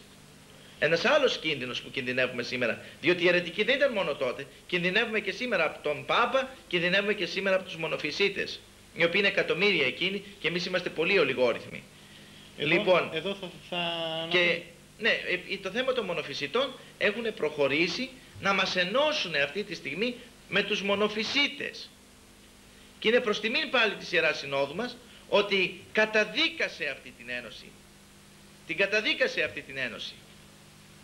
Τους μονοφυσίτες. Δεν δέχτηκαν να ενωθούμε με τους μονοφυσίτες. Η Ελλαδική Εκκλησία και είναι προς τιμήν πάλι και του Πατριαρχείου Ιεροσολύμων, της Εκκλησίας της Σερβίας, επίσης και άλλων η Γεωργία και άλλες ορθόδοξες εκκλησίες όπου καταδικάσαν αυτές τις ενώσεις και είπαν εμείς δεν προχωρούμε σε τέτοιου είδους ενώσεις. Τώρα εάν τολμήσουν μερικοί πατριάρχοι ή μερικοί επίσκοποι και προχωρήσουν σε κάτι τέτοιες ενώσεις θα έχουν το αποτέλεσμα που είχαν και τούτοι οι πατριάρχοι οι οποίοι είπαν να κατέβουν οι Άγιες εικόνες. Το ίδιο αποτέλεσμα θα έχουν θα τους καταδικάσει η ιστορία, θα ξεσηκωθεί ο λαός, θα γίνουν σχίσματα επί σχισμάτων, θα ταλαιπωρηθεί ξανά η Εκκλησία μας. Είναι πολύ δύσκολο, εν πάση περιπτώσει, να φτάσουμε σε αυτά τα αποτελέσματα. Τα βήματα του Πατριαρχείου τα οποία αναφέρει, πιστεύω ότι έχουν πέσει 60 χρόνια, τώρα όλα πλέον 70 χρόνια έχουν πέσει έχουν πέσει στο κενό πατέρα Μάξιμε. Δεν ήρθε κανένα αποτέλεσμα. Δεν ήρθε. Όχι μόνο δεν ήρθε και γι' αποτέλεσμα, αυτό αλλά ζημιώθηκε η Ορθόδοξη. και ζημιώθηκε όπως σας είπα. Κοντεύουμε να γίνουμε εμείς καθολικοί και όχι εκείνοι ορθόδοξοι. Νομίζω Λοιπόν, ότι θα ήθελα να τονίσω κάτι και να καταγγείλω κάτι εδώ από την εκπομπή μας, μια που αναφερθήκατε στους μονοφυσίτες, ότι δυστυχώς ο Πατριάρχης Αντιοχίας έχει υπογράψει την ένωση της μονοφυσίτες με τους Κόπτες και τους Αρμενίους ε, και, και, συλλειτουργούν και κιόλας. συλλειτουργούν κιόλας. Το οποίο είναι πέρα για πέρα, ε, θα λέγαμε έτσι, καταδικαστέο και ε, το δεν λιτόμεθα αυτό το πράγμα, διότι υπάρχει Κάνει πλέον κύριε ένωση με υπομονή, κάνει ερετικούς. υπομονή πιστεύω η Ιερά Σύνοδός μας. Και Κάνει το άλλο, υπομονή φυσικά στα θέματα πίστος σου συγχωρεί συγκατάβασης. Κάνει πιστεύω υπομονή και προσπαθεί να εξαντλήσει όλα τα όρια μήπως ο Πατριάρχης Αντιοχίας ο οποίος ελοξοδρόμησε η αλήθεια είναι την Ορθόδοξη καταπολεμάει- πίστη Μέχρι και το Μωάμεθ είχε πει για προφήτη του Χριστού. ε, ο Αντιοχίας. ακριβώς Δυστυχώς. ε, Θα ήθελα Προσπαθώ να πω... ότι εξαντλεί την υπομονή της πιστεύω η Αγία και η εγώ Ιερά το Συνοδός πιστεύω μας αυτό το πράγμα και και ότι πάντα το πρέπει κάποια να- στιγμή αν δει ότι προχωρούν τα πράγματα θα αντιδράσει Υπάρχει όμως- και σίγουρα όπως απέκοψε τον Πάπα το ψωριασμένο αυτό πρόβατο έτσι και το ψωριασμένο πρόβατο τον Ιγνάτιο Αντιοχίας θα τον αποκόψει. Ναι. Ήδη στη συνείδηση του λαού πλέον του Ορθοδόξου έχει ξεπέσει. Θα τον αποκόψει γιατί εδώ έχουμε ένα άλλο γεγονός Έχουμε σημαντικό. κοινωνία ερετικών πλέον. Αν μου Κοινωνία επιτρέπετε. εκείνος με τσι, έρχεται εδώ, συ- συλλειτουργούμε και εμείς και το δηλητήριο της Ιερέσεως προχωρεί, Μεταδίδεται. Πολύ μεταδίδεται. σωστά. Είναι γνωστή η Θα τον κοινωνία. αποκόψει, γιατί εδώ βλέπουμε και ένα άλλο πατέρα Νεκτάριο σπουδαίο Ναι. γεγονός, σημαντικό, το οποίο είχα προαναφέρει σε άλλες εκπομπές παλαιότερα, ότι εδώ, μέσα στην καρδιά της Αθήνας, μέσα, στην, ε, μέσα στον Ιερό Ναό της Ζωοδόχου Πηγής, στον, στην Οδό Ακαδημίας, από την Ομόνια πολύ κοντά κλπ, διαπιστώσαμε, πληροφορηθήκαμε και διαπιστώσαμε ότι γίνεται εκεί μέσα λειτουργία σε εισαγωγικά, λειτουργούν σε εισαγωγικά επαναλαμβάνω, οι αρετικοί μονοφυσίτες. Δηλαδή έχει εδώ στην άδεια όπως πληροφορηθήκαμε ο Αρχιεπίσκοπος, εδώ ο Αθηνών, ο κύριος Σεραφείμ, να λειτουργούν μέσα μονοφυσίτε. Αυτό είναι, τι να πω, δηλαδή είναι πέρα Έχει ήδη καταδικαστεί και νομίζω ότι πολύ σύντομα θα ανακληθεί αυτή η απόφαση από ό,τι έχω το εύχομαι, ακούσει. διότι Από αυτό ό,τι γιατί δείχνει έχει τις διαθέσεις. αντιδράσει, έχει αντιδράσει ο λαός σε την απόφαση η οποία πιστεύω ότι ο Αρχιεπίσκοπος επειδή ξέρετε στο εξωτερικό δεν έχουμε εμείς στη Γερμανία ένα παράδειγμα δεν έχουμε δικούς μας ναούς να λειτουργήσουν οι ιερείς μας και αναγκάζονται οι αιρετικοί όταν τελειώσουν τη δικιά τους λειτουργία και παραχαρούν τους δικούς τους ναούς και μπαίνουμε και λειτουργούμε εμείς μέσα αφού Ναι. τελεστεί ένας γε- αγιασμός και διαβαστούν κάποιες ευχές και γίνεται κάποια συγκατάβαση. Νομίζω πάνω σε αυτή τη συγκατάβαση κάπου εκεί βασίστηκε ο Αρχιεπίσκοπος και έδωσε αυτή την άδεια, αλλά από ό,τι έχω πληροφορίες μάλλον θα ανακληθεί Το εύχομαι αυτή η να άδεια, ανακληθεί, διότι γιατί έχει κατασκανδαλιστεί. προσβάλλει ας πούμε, Κατασκανδαλιστεί, η αλήθεια είναι ο την λαός. Ορθοδοξία και ο λαός σκανδαλίζεται, από ό,τι οπωσδήποτε. άκουσα ότι κάποιοι ετοιμάζονται την ώρα που λειτουργούν να εισβάλλουν μέσα να πετάξουν Ε, νομίζω τον, ότι- κόπτη, τον κόπτη ιερέα να τον πετάξουν έξω και θα έχει προβλήματα ο Ότι τους άνθρωπος. αξίζει, νομίζω τους αξίζει αυτό πατέρα Νεκτάριο. Λοιπόν, γιατί φυσικά βεβηλώνεται ο Ορθόδοξος ναός, δεν επιτρέπεται. Ε, τα αυτά θα είχα να πω γύρω από, την, από τους διαλόγους. Ότι οι διάλογοι πρέπει να γίνονται όταν σκοπιμότητα έχουν φυσικά τη διάδοση της Ορθοδοξίας μας, χωρίς όμως συμπροσευχές, χωρίς να προχωρούμε έστω και σε μικροσυλλήτουργα, όπως έγινε το 87 με τον Πατριάρχη τον Δημήτριο στη Ρώμη, ε, διότι αυτά δυστυχώς θα φέρουν άσχημα αποτελέσματα στην Ορθοδοξία μας. Ναι, σε ένα σωστό και καλό διάλογο. Πήγε και ο Άγιος Μάρκος ο Ευγενικός. Πήγαν Ναι. και οι Άγιοι μας σε αυτούς τους διαλόγους, διότι σκοπός μας είναι να τους επιστρέψουμε. Εάν ο σκοπός μας είναι να τους επιστρέψουμε, ναι. Εάν σκοπός είναι να χάσουμε αυτά που έχουμε, να χάσουμε και τα αυγά, να χάσουμε και τα καλάθια, είναι προτιμότερο να μείνουμε στην απομόνωση, που δεν είναι απομόνωση τελικά. Δεν είναι, διότι το διαμάντι και στο βούρκο να το πετάξεις, διαμάντι είναι. Η Ορθοδοξία μας δεν χάθηκε στους σκληρά χρόνια της τουρκοκρατίας. Δεν χάνεται. Πήλε άδου ου κατησχύς ουσία αυτής. Δεν είναι εύκολο. Υπάρχουν ακ- ευτυχώς δόξα τω Θεώ και μαχητέοι ιερείς υπάρχουν και μαχητέοι επίσκοποι υπάρχουν που είναι έτοιμοι να τα παίξουν κορώνα γράμματα και να διακόψουν και μνημόσυνα ακόμα ε, πατριαρχών και μνημόσυνα αρχιεπισκόπων και μνημόσυνα Ας μην ξεχνάμε ότι ο Μητροπολίτης Φλωρίνης ο Αυγουστίνος είχε διακόψει κάποτε το μνημόσυνο του Πατριάρχη Κωνσταντινούπολης και αμέσως μαζεύτηκε. Πολλές Ας μην φορές. ξεχνούμε ότι το Άγιον Όρος, σύσσωμο το Άγιον Όρος, εδήλωσε στον Πατριάρχη ότι αν προχωρήσει σε ένωση με τους καθολικούς ή με τους μονοφυσίτες, αυτομάτως θα ξεσηκώσουν επανάσταση. Αλλά όχι μόνο αυτοί, και εμείς το δηλώνουμε αυτό. Και εμείς το δηλώνουμε. Θα χτυπάμε πένθυμα το καμπαναριό και θα διακόψουμε. Οπωσδήποτε. Δεν είναι δυνατόν να, έχουμε, να δεχτούμε μια ένωση de facto είτε υποχωρώντας εμείς και λίγο εκεί να υποχωρήσουμε διότι δεν είναι μια σκόνη που κάθισε ξέρετε το σώμα επάνω μπορεί να δεχτεί οποιαδήποτε σκόνη θέλουμε. Το μάτι δεν δέχεται σκόνη όμως. Δεν δέχεται το παραμικρό έτσι είναι η Ορθοδοξία. Η Ορθοδοξία δεν δέχεται, δεν δέχεται την παραμικρή πλάνη. Να τους δεχτούμε, να τους αγκαλιάσουμε, να τους φιλήσουμε σαν ε, ανθρώπους, σαν ανθρώπους βεβαίως καμία αντίρρηση. Στα θέματα πίστεως όμως ούση χωρίς η κατάβαση. Δεν θα δεχτούμε την παραμικρή δηλαδή να κάνει πιστεύω και κανένας κληρικός μας και κανένας επίσκοπός μας δεν θα κάνει πίσω. Αν και το συνοδικό δείχνει ότι και οι ιερείς πέταξαν εικόνες, διαβάσαμε σήμερα, οι ιερείς από ενορίες έκαψαν εικόνες όταν το είπε ο Πατριάρχης, γιατί θέλησαν να κάνουν υπακοή, λέει, στον Πατριάρχη. Είναι η κακή υπακοή αυτή, την οποία λέει η Αγία Γραφή, πείθεστε και υπακούετε της ηγουμένης, αλλά όταν αυτή αγρυπνούσει, λέει, υπέρ των ψυχών ημών. Όταν αγρυπνάει για τη σωτηρία της ψυχής μου, ναι, θα υπακούσω τυφλά και θα πω να είναι ευλογημένο. Σε διαφορετική περίπτωση ισχύει το πειθαρχήν δι Θεό, μάλλον οι ανθρώποι, έστω και άμα στείλουν εξορία, όπως στείλαν εξορία και πέθανε ο Άγιος Ιωάννης ο Χρυσόστομος. Είναι γνωστόν και διάβασα τώρα σε ένα τελευταίο περιοδικό που κυκλοφόρησε αγιορείτικο κάποια επιστολή που αναφέρει μέσα ότι η Ιερά Σύνοδος αφόρησε του Πατριαρχείου Κωνσταντινούπολης τον Άγιο Νικόδημο, τον Αγιορείτη και τον Άγιο Αρσένιο, τον Πάριο, τον Άγιο Θανάσιο και τα λοιπά τους αφόρησε. Κολυβάδες. Τους κολυβάδες αφόρησε. Η Εκκλησία τους ανακήρυξε Αγίους. Η Ιερά Σύνοδος αφόρησε, η Εκκλησία ανακήρυξε Αγίους. Η Ιερά Σύνοδος του Πατριαρχείου Κωνσταντινούπολης ξύρισε τον Άγιο Ιωάννη τον Χρυσόστομο. Τον έστειλε εξορία. Οι πατριαρχάδες τον στείλαν εξορία. Πέθανε στην εξορία. Η Ιερά Σύνοδος τα έκανε αυτά. Η Εκκλησία τον ανακήρυξε Αγιώτης. Άλλο λοιπόν η Ιερά Σύνοδος, άλλο Εκκλησία. Είναι ξεχωριστά πράγματα. Την Εκκλησία, Άλλο κλήρος άλλο κλήρος, και άλλο εκκλησία. άλλο του Εκκλησία. Χριστού. Η Εκκλησία μπορεί να ακούσουμε ξαφνικά να καταδικάζει ανθρώπους που δεν περιμένουμε περιμένουμε να καταδικάζει. Διότι η Εκκλησία καθοδηγείται από το Πανάγιο Πνεύμα και δεν είναι Εκκλησία η Ιερά Σύνοδος. Διότι βλέπουμε ότι η Εκκλησία, αυτούς που καταδίκασε πολλές φορές η Ιερά Σύνοδος, όπως τον Άγιο Θεόδωρο του Στουδίτη, τον ηγούμενο της Μονής του Δίου, η Εκκλησία μας τον ανακήρυξε Άγιο. Βέβαια. Τον Άγιο Μάξιμο, τον ομολογητή του οποίου έχετε το όνομα, η Εκκλησία τον είχε καταδικάσει. Τον Άγιο Μάξιμο, τον ομολογητή. Η Ιερά Σύνοδος, συγγνώμη. Η Εκκλησία όμως τον έχει Άγιο. Άγιό της. Και ήρθε η έκτη Οικουμενική Σύνοδος του 681 Α, και και τον τον αναγνω- δικαίωσε. Ακριβώς.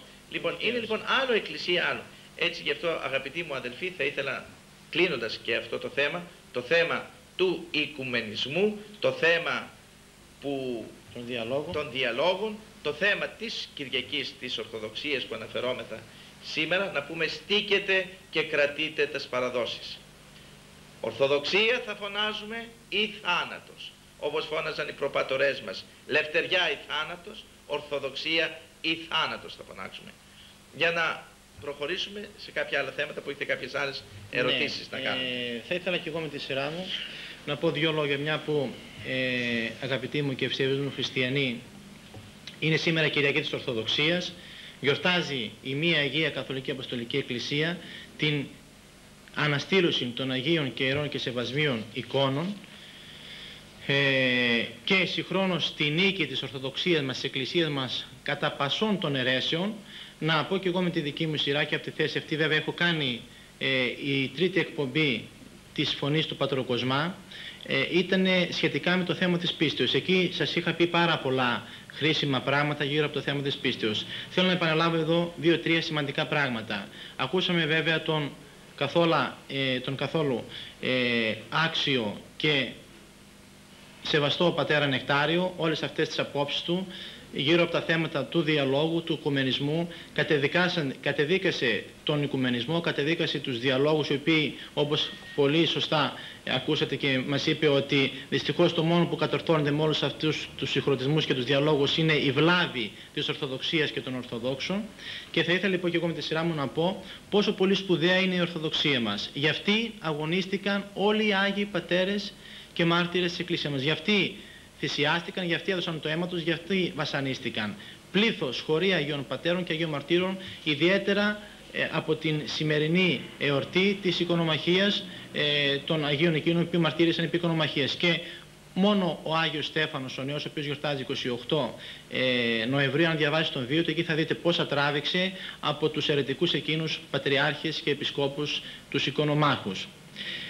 Ε, να πούμε το χωρίο του, του Αγίου Μαξίμου, του ομολογητού αυτού της Εκκλησίας μας, του Μέγα ομολογητού της Εκκλησίας μας, ε, ότι να φυλάξουν προτρέπει τους Ορθόδοξους Χριστιανούς, βέβαια ξέρετε ο Άγιος Μάξιμος μόνος του τότε στον 7ο αιώνα κράτησε την Ορθοδοξία ε, παρόλο που όλα τα πατριαρχία και όλες οι εκκλησίες τότε ήταν ε, εναντίον του και πίστευαν την αίρεση των μονοθελητών και μονοενεργητών.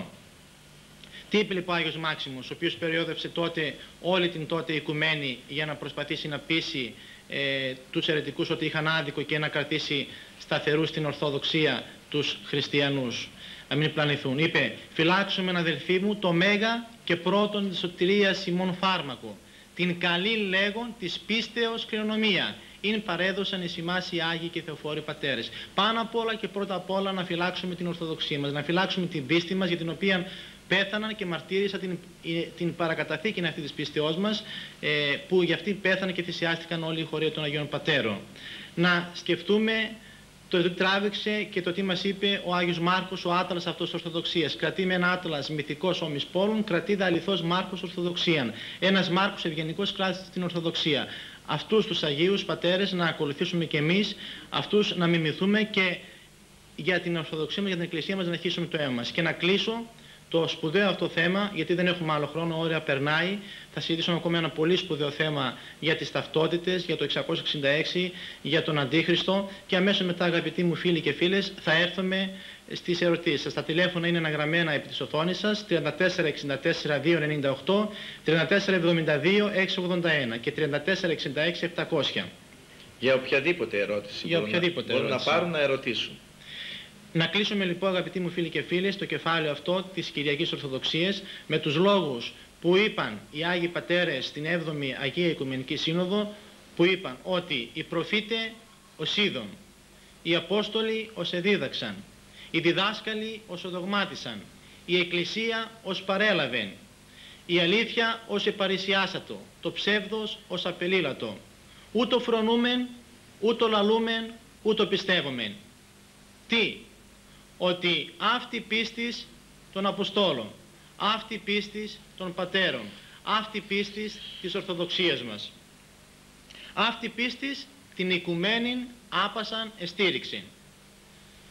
Εύχομαι λοιπόν όλοι μας να κρατήσουμε και την Ορθοδοξία μας. της αιρετικής ανάθεμα. ανάθεμα. Και τους αναθέτουμε να τους κρίνει ο, ο Θεός. και ευχόμεθα για τη μετάνοιά τους Βεβαίως. και να επιστρέψουν στην Εκκλησία ξανά από εκεί που απεκόπησαν.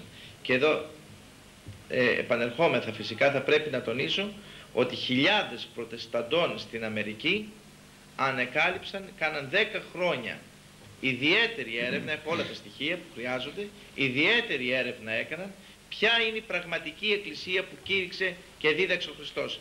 Και ανακάλυψαν προτεστάντες στην Αμερική ότι η εκκλησία είναι η μοναδική, η ορθόδοξη εκκλησία και γύρισαν χιλιάδες πάστορες, έγιναν Ορθόδοξοι, έγιναν και επίσκοποι μάλιστα και υπάγονται σήμερα ε, στην Ορθόδοξη πλέον Εκκλησία μας.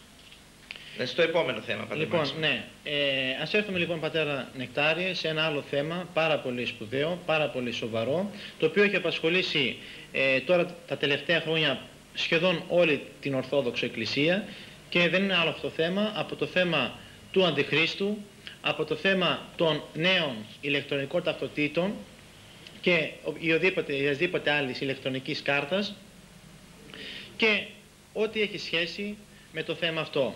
Τα ερωτήματα και σε, όταν είχα κάνει τις τρεις εκπομπές για τα σημεία των καιρών ήταν πάρα πολλά από τους αγαπητούς και ευσεβείς χριστιανούς. Δεν προλάβαμε βέβαια να τα απαντήσουμε. Έχω υποσχεθεί ότι σε μια άλλη εκπομπή θα τα απαντήσω. Θα θέλαμε την προσωπική σας άποψη, την προσωπική σας θέση και θέσεις ε, γύρω από το θέμα αυτό, διότι ως γνωστό έχετε εκδώσει το βιβλίο το ναι. πότε θα γίνει η δεύτερη παρουσία του Κυρίου μας, το οποίο το εκδώσετε για πρώτη είναι φορά. η πρώτη του έκδοση. Το 1984. 84, και έχουν ακολουθήσει πόσες Είναι η 15η έκδοση. 15 εκδόσεις λοιπόν. Που σημαίνει πλέον των 150.000 αντίτυπα. 150.000 αντίτυπα. Που Ο κόσμος έδειξε μεγάλο ενδιαφέρον και το σπουδαιότερο είναι ότι μέσα στο βιβλίο αναφερόμεθα πριν βγουν οι ταυτότητες, ότι ήδη έρχονται οι ταυτότητες χωρίς καν να είχε ψηφιστεί το ειδικό νομοσχέδιο που ψηφίστηκε το 1986. Και φυσικά όσα στοιχεία αναφέρουμε μέσα, θα πρέπει να πούμε ότι το 666 πατέρα Μάξιμε δεν είναι κάτι τυχαίο. Εδώ μπροστά μου κρατάω μια παιδική μπλούζα, την οποία ε... μπορούμε να τη δούμε, φαίνεται πιστεύω ξεκάθαρα. Θα, θα ε, έχει τρία παιδάκια, όπου στο κεφάλι τους σχηματίζεται το 666. Θα θέλω να το δείξω για να το δουν αγαπητοί. Το 666. Λοιπόν, εδώ είναι το πρώτο το ένα κεφάλι, το ένα κεφάλι, το δεύτερο κεφάλι. Αυτό είναι το ένα κεφάλι. Ναι, το δεύτερο. το δεύτερο. Και αυτό είναι το, τρίτο. Είναι παιδική μπλούζα. 6-6. Παιδική μπλούζα. Επίσης σε παιδικό παιχνίδι πάλι μπορούμε να δούμε ότι το 666 γερμανικό περιοδικό, λίγο αν μπορεί να γίνει zoom, ακριβώς, το βλέπετε; Εδώ 6, 6, 6. Αυτό είναι, είναι παιδικό, παιδικό, γερμανικό περιοδικό, κόμιξ. Κόμιξ. Κόμιξ. Και σε περιοδικά λοιπόν. Επίσης μπορούμε να δούμε σε ελληνική εφημερίδα, γερμανική συγγνώμη εφημερίδα, το 600 πίσω 66. Ταξίδι Λονδίνο, Παρίσι, Βιέννη. Όπως βλέπουμε δεν είναι και μέσα από τα βιβλία, αν διαβάσετε και ανοίξετε το βιβλίο μας, θα μπορέσουμε να δούμε λίγο κοντά μπορούμε, όσο ζούμε μπορούμε. Στο κεφάλι διακρίνει το 666, στην παλάμη του ανθρώπου το 666. Πάρα πολλά. Ναι, είναι πάρα πολλά εν πάση περιπτώσει. Το πεντοχίλιαρο το οποίο υπάρχει απάνω. Ναι, ναι. Στο ε, ΟΤΕ το οποίο στην Θα ήθελα να πω, ε, για μην περνάει ο χρόνος, πατέρα Μάξι με το εξής ότι τα σημεία του αντιχρίστου, αντιχρίστου είναι ένα, γι' αυτό το βιβλίο ονομάζεται πότε θα γίνει η Δευτέρα Παρουσία. Πολλοί ομιλούν και λένε ότι η Δευτέρα Παρουσία είναι άγνωστος ο χρόνος. Εγώ διαφωνώ. Δεν είναι άγνωστος ο χρόνος. Ναι. Δεν είναι άγνωστος ο χρόνος της Δευτέρας Παρουσίας. Άγνωστη η ημέρα και η ώρα είναι. Είναι και παραμένουν.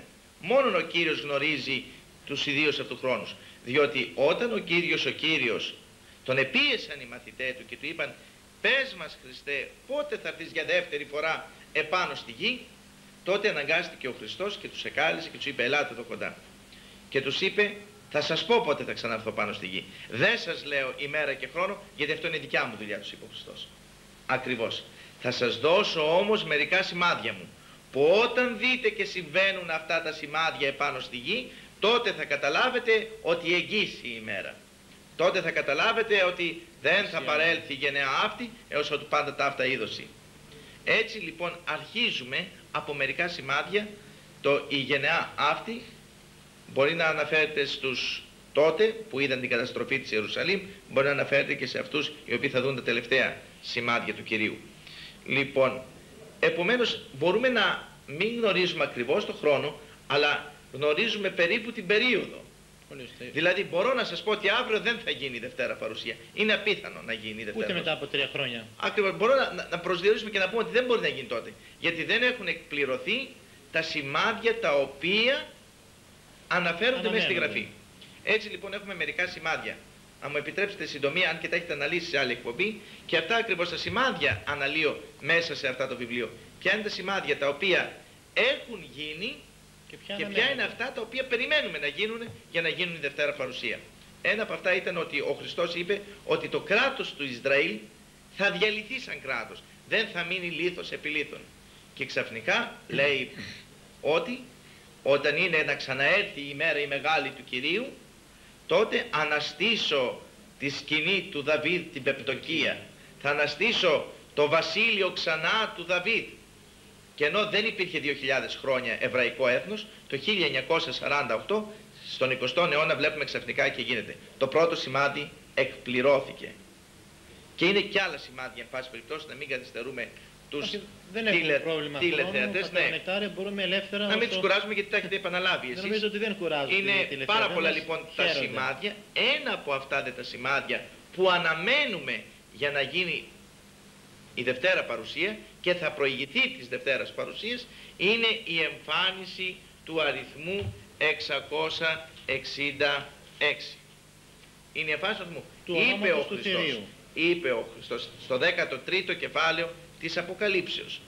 Θα έρθει καιρός που δεν θα μπορείτε να πουλάτε, ούτε να αγοράζετε, δηλαδή καμία οικονομική διαχείριση δεν θα μπορείτε να κάνετε, παρά μόνον αυτός που θα έχει το χάραγμα του θηρίου ή το όνομα του θηρίου ή τον αριθμό του αυτού. ονόματος αυτού. Έτσι λοιπόν και το όνομα μας το δίνει τον αριθμό του θηρίου, μας λέει είναι το χ ξι Ξι σίγμα τάφ. σίγμα. Είναι λοιπόν το 666 όπως μεταφράζεται κοινός. Το οποίο το βλέπουμε στις ημέρες μας ότι εμφανίστηκε. Είναι πλούσιες οι φωτογραφίες τόσο μέσα στα βιβλία όσο που βλέπετε επάνω Παγκοσμίως. Παγκοσμίως, έχει εμφανιστεί. παγκοσμίως έχει εμφανιστεί ακριβώς. Βλέπουμε λοιπόν ότι προχωρεί αυτό το σύστημα. Αυτό λοιπόν το σύστημα θέλουν Εδώ θα ήθελα, πατέρα, αν μου επιτρέπετε, ότι δεν είναι τυχαίο αυτό το πράγμα. Δηλαδή παγκόσμια να, εξα... να μέσα σε μια δεκαετία. αφού είναι σημάδια, σημάδια τους των δεν είναι καιρών. τυχαία. Φυσικά δεν είναι τυχαίο. Πρέπει τα αυτά πάντα πρέπει να γίνουν για να γίνει η Δευτέρα Παρουσία. Ιδάλλως δεν θα γίνει η Δευτέρα Παρουσία. Προμηνύεται δηλαδή όπως, όπως είχε Προμηνύεται θύελα. πει. Θύελα, ακριβώς. Θύελα Και προμηνύεται. ερπομός Και θα κάποιων σας ανθρώπων. πω ακριβώς παρακάτω τι έχει να γίνει. Θύελα προμηνύεται. Λοιπόν, ε, ένα παράδειγμα να σας αναφέρω. Δεν θα μπορούμε ούτε να πουλάμε ούτε να αγοράζουμε. Σήμερα ζητούν να βγάλουμε την ταυτότητα. Η Εκκλησία μας και η Ιερά Σύνοδος, υπό την ηγεσία του Αρχιεπισκόπου Σεραφείμ, είπε ότι να μην πάρει κανένας Έλληνας στην Ορθόδοξη ταυτότητα και οποιοδήποτε άλλο δελτίο έχει επάνω το χάραγμα του Αντιχρίστου. Πρέπει δε να πούμε ότι το χάραγμα του Αντιχρίστου είτε είναι φανερό 666 έτσι, είτε είναι με το λεγόμενο γραμματός σύστημα, με τις γραμμούλες δηλαδή που Με το συναντούμε Bargo System. με τις γραμμούλες που συναντούμε επάνω στα τρόφιμα είναι ένα και το αυτό πράγμα. Χάραγμα, χαράσω γραμμές. Αυτό σημαίνει χάραγμα. Λοιπόν, θα πρέπει λοιπόν να τονίσουμε και να πούμε ότι δεν, λέει η Γραφή ότι δεν επιτρέπεται να πάρουμε αυτό το χάραγμα εμείς οι χριστιανοί. Αυτό εδώ. το Όταν Bargo. φτάσει, ναι, το barcode, Ε, αν μπορεί να γίνει zoom ένα λιγάκι, zoom. Αγαπητέ κύριε Ιωάννη, να παραδείξω εσύ. ναι, Αυτό εδώ είναι. Επάνω σε ένα αυγό είναι αυτό. Το Bargo System. Αυτό λοιπόν είπε ότι εμείς δεν πρέπει να το δεχθούμε, να το πάρουμε και θα θελήσουν να μας το βάλουν στο δεξί χέρι ή στο μέτωπο. Αυτή τη στιγμή το βλέπουμε και είναι επάνω στα τρόφιμα. Βλέπουμε και μπαίνει σε όλα τα αντικείμενα. Έχω εδώ, εδώ μπροστά μου από την ελευθεροτυπία στις τώρα το Φεβρουάριο του 1995 ότι πήρανε ηλεκτρονική ταυτότητα όλα τα ζώα. Δηλαδή τα ζώα αριθμούνται και εφαρμόζεται στην Κρήτη. Αναφέρει λοιπόν, με ηλεκτρονική ταυτότητα, μικροτσίπ, εμφανίζονται για πρώτη φορά τα μικρά ζώα στην Κρήτη.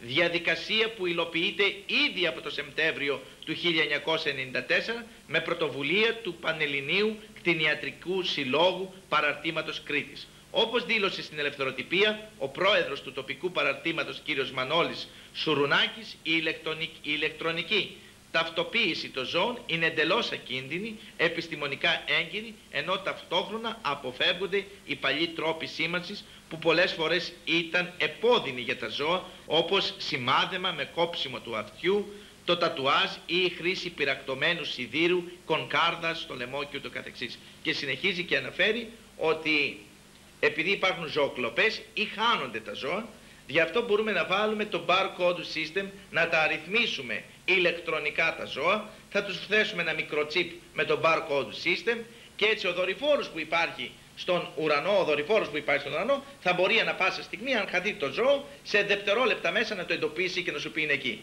Έτσι, αν κλέψω εγώ ένα πρόβατο, θα μου το βρει ο δορυφόρος σε τρία λεπτά και θα πάω μέσα για κλέψη. Περιορίζονται οι ζωοκλοπές.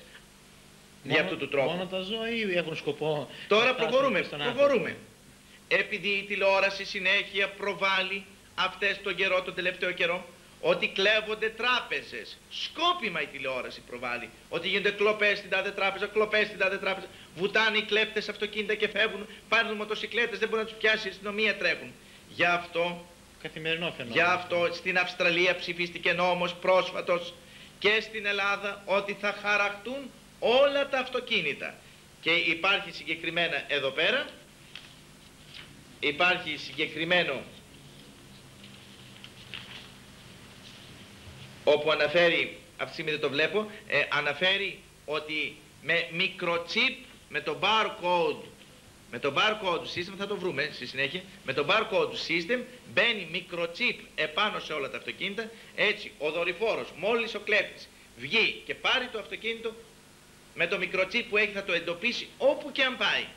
Και έτσι δεν θα έχουμε πλέον κλοπές αυτοκινήτων, δεν θα έχουμε κλοπές από τις τράπεζες, δεν θα μπορεί να κλέψει κανείς μια μοτοσυκλέτα, ένα παπάκι, οτιδήποτε. Ο δορυφόρος θα το εντοπίζει αυτόματα μέσα σε δευτερόλεπτα. Ναι, Μέσω με του ένα- μικροτσίπ. μέσω του μικροτσίπ. Μέσω του μικροτσίπ. Μέσω του μικροτσίπ. Να Έχει εξηγήσουμε δυνατότητα, το- τι είναι θα το πούμε τι είναι το μικροτσίπ. μικροτσίπ.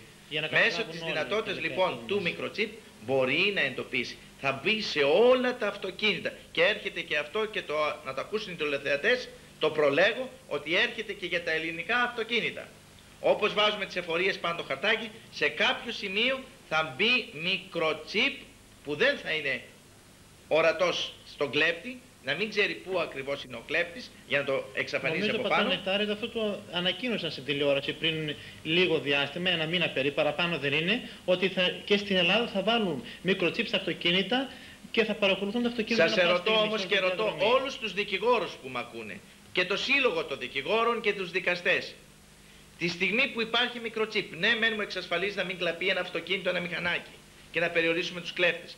Ταυτόχρονα μπορεί όμως το κράτος πλέον διαμέσου του κομπιούτερ γιατί λειτουργεί με το γραμματό σύστημα το μικροτσίπ, με το barcode system λειτουργεί. Μπορεί το κράτος ανα πάσα στιγμή να βλέπει πού βαδίζω εγώ με το αυτοκίνητό μου. Φυσικά, με πολύ Έχουμε μεγάλη δηλαδή ευκολία. μια χειρότερο, χειρότερο καθεστώς και από τον κομμουνισμό ακόμα που σε παρακολουθεί από πίσω ο αστιφύλακας στη Ρωσία όταν είχα πάει εγώ στη Βουλγαρία επί κομμουνισμού ήταν από πίσω μου συνέχεια η αστυνομία.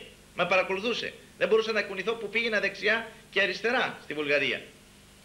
Είναι στέρηση προσωπικής ελευθερίας. Το κράτος δεν θα με παρακολουθεί λοιπόν, ερωτώ δημόσια όλους, να μου απαντήσουν και οι δημοσιογράφοι.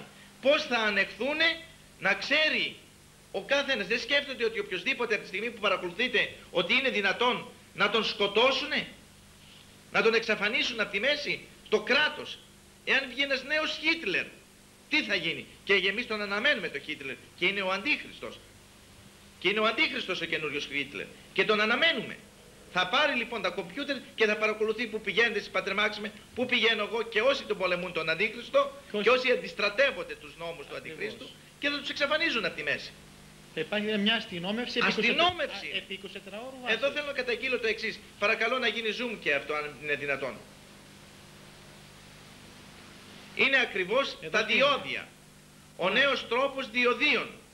Πώς θα περνάμε. Με μικροτσίπ επάνω τα αυτοκίνητα; Αυτό νομίζω το μικροτσίπ εδώ πέρα, η καρτούνα; Ναι, είναι το μικροτσίπ, το οποίο επάνω από εδώ, ο δέκτης είναι από εδώ, Ο δορυφόρος. για να μην λέγουν οι ηλεκτρονικοί ότι για να μην καθυστερούμε στα διόδια να περνάμε γρήγορα, με το μικροτσίπ θα αφαιρείται από την κάρτα, η οποία είναι αντικάρτα, θα υπάρχει επάνω, συγγνώμη, θα υπάρχει επάνω στο αυτοκίνητο, να αντικάρτα, επάνω στο αυτοκίνητο θα υπάρχει, θα αφαιρείται αυτόματα, αυτόματα θα, αφορεί, θα αφαιρείται το 500 δραχμό το αντίτιμο που είναι το εισιτήριο των διοδίων. Για λόγους Και πάντοτε ερώτησα ευκολίας. σήμερα συγκεκριμένα. Σήμερα ερώτησα τα διόδια. Τη στιγμή που εγώ θα βάζω την κάρτα ή αυτόματα με μικροτσίπ, ο δορυφόρος θα μου αφαιρεί από μέσα. Το κράτος γνωρίζει εγώ ότι έφυγα από Αθήνα και αυτή την ώρα ακριβώς περνάω από Κόλινθο, μετά από λίγο περνάω τα διόδια των πατρών. Μάλιστα. Ναι ή όχι; Φυσικά. Μπορεί λοιπόν το κράτος, κάποιος που δεν με χωνεύει από το κράτος, να με σκοτώσει παρακάτω. Κινδυνεύει η προσωπική μου ελευθερία. Ποιος θα με προστατεύσει από την προσω- προσωπική μου ελευθερία; Ποιος θα με προστατεύσει. Εδώ δανείστηκα ένα τηλέφωνο χειρός. Από αυτά τα κινητά τα τηλέφωνα. Το δανείστηκα πατέρα. Λοιπόν, να σας δείξω πως λειτουργεί αυτό το πράγμα. Γιατί τα είδα και έφτιαξα. Πίσω εδώ μέρα παρακαλώ να γίνει πάλι zoom στο τηλέφωνο. Εδώ πίσω το βλέπετε αυτό εδώ πέρα; Είναι το λεγόμενο μικροτσίπ. Να σας το βγάλω αδελφοί μου. Να το παρακαλώ. Αυτό το ασημί, το χρυσαφί που είναι πάνω, είναι το λεγόμενο μικροτσίπ. Μάλιστα. Αυτό ακριβώς. Αυτό που πάει και στην τηλεκάρτα. Πάει ένα παρόμοιο. Αυτό είναι μικροτσίπ το οποίο αυτή τη στιγμή η εταιρεία η οποία έχει εκδώσει αυτό το, τηλε- το τηλέφωνο έχει τη δυνατότητα να παρακολουθεί τον ιδιοκτήτη. Πρώτα απ' όλα καταγράφονται όλα τα τηλεφωνήματα στα κομπιούτερ, είναι το λεγόμενο ψηφιακό σύστημα αυτό, στα ψηφιακά τηλέφωνα είναι με το barcode system. Ό,τι λένε όλοι που μιλάνε στα τηλέφωνά τους και αυτή τη στιγμή που μας παίρνουν στα τηλέφωνα καταγράφονται στα κομπιούτερ του κράτους. Ό,τι λέγεται. Και έχοντας εγώ αυτό το τηλέφωνο μαζί μου ή ο ιδιοκτήτης του, ξέρει πού ευρίσκεται ο ιδιοκτήτης του ανα πάσα ώρα. Φεύγει και πηγαίνει καλαμάτα, τον βλέπει διαμέσου του μικροτσίπου δορυφόρος, ειδοποιεί ότι αυτή τη στιγμή ευρίσκεται αυτός ο ιδιοκτήτης που κρατάει το τηλέφωνο, ευρίσκεται καλαμάτα. Πάει η Γερμανία, το έχει μαζί του, τον εντοπίζει. Και θέλω να προχωρήσω. Εδώ έχουμε τα καινούργια διαβατήρια τα αμερικάνικα. Παρακαλώ να γίνει. Στο κάτω σημείο εδώ πάνω στη φωτογραφία έχει μπει μικροτσίπ.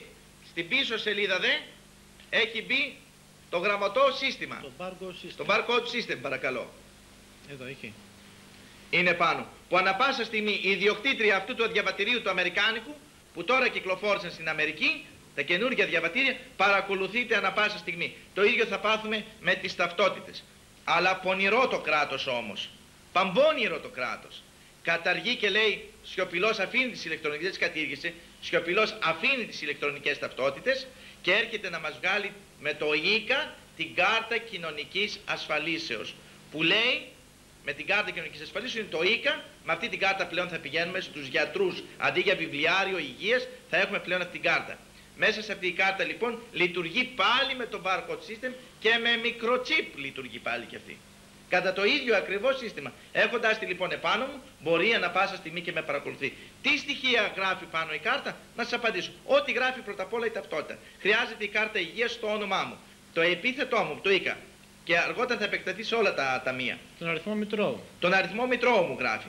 Γράφει το επιθετό μου. Γράφει, εδώ γράφει και την ομάδα του αίματος. Γράφει το ιστορικό μου τι έχω περάσει από τους γιατρούς. Και ποιος μου λέει ότι αφού εγώ δεν βλέπω το τι γράφει μέσα, το τι γράφει μέσα, πώς διασφαλίζεται το τι μου έχουν γράψει μέσα.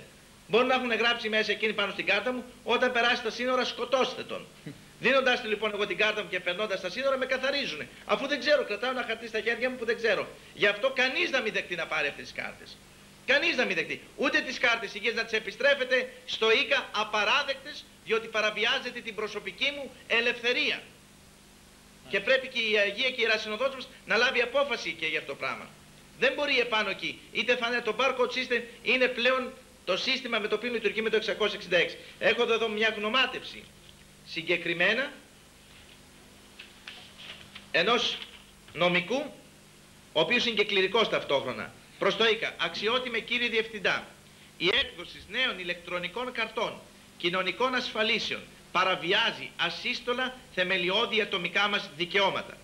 Εφόσον δεν υπάρχει νόμος προστασίας των προσωπικών μας στοιχείων, όπως και σε άλλες χώρες της ΕΟΚ, είμαστε ανυπεράσπιστοι σε καταχρήσεις του οποιοδήποτε χρησιμοποιεί την ηλεκτρονική ταυτότητά μας. Λόγοι λοιπόν προστασίας του απορρίτου και απαραβιάστου της ιδιωτικής σφαίρας και της προστασίας της προσωπικότητας κατά τα άρθρα 2 και 5 παράγραφος 1 του ισχύοντος συντάγματος καθιστούν τις νέες ταυτότητες κοινωνικής ασφαλίσεως αντισυνταγματικές.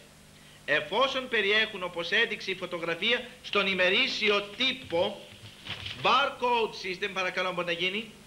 Zoom και εδώ. Έχει barcode system. Να οι γραμμούλες.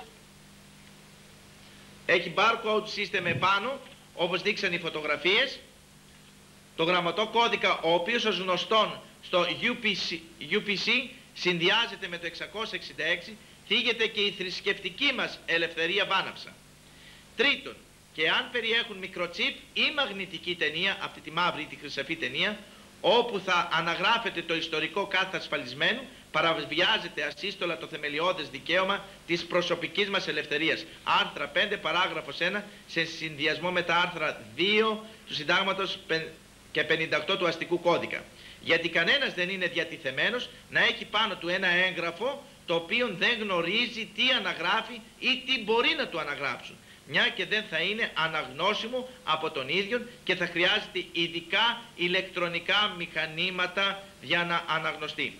Επίσης, δεν μας παρέχεται καμία πληροφορία από τις αρμόδιες αρχές Πράγμα αντίθετο στον κανόνα χρηστής διοικήσεως για τις προδιαγραφές της κάρτας και επομένως πλήρες σκοτάδι καλύπτει το όλο θέμα. Ερωτούμε λοιπόν, γιατί αυτό το, το σκοτάδι και η αδιαφάνεια, σε ποια επιφάνεια θα γίνεται η γραφή, πώς θα γράφεται με ακτίνες λέιζερ, θα είναι ορατή όλη η γραφή ή αόρατη, γιατί ο αριθμός Μητρώου Κοινωνικής Ασφαλίσεως άμκα και με αραβικούς αριθμούς και με barcode θα περιέχουν τώρα ή έπειτα οι κάρτες ειδική μαγνητική λωρίδα όπως όλες οι γνωστές κάρτες, τραπεζοκάρτες και τα λοιπά, εθνοκάρτες. Ποιος θα ελέγχει το τι μας γράφουν στην αόρατη λωρίδα, επειδή βασίμως και σύμφωνα με τον νόμο και τον υπέρτατο καταστατικό χάρτη της χώρας μας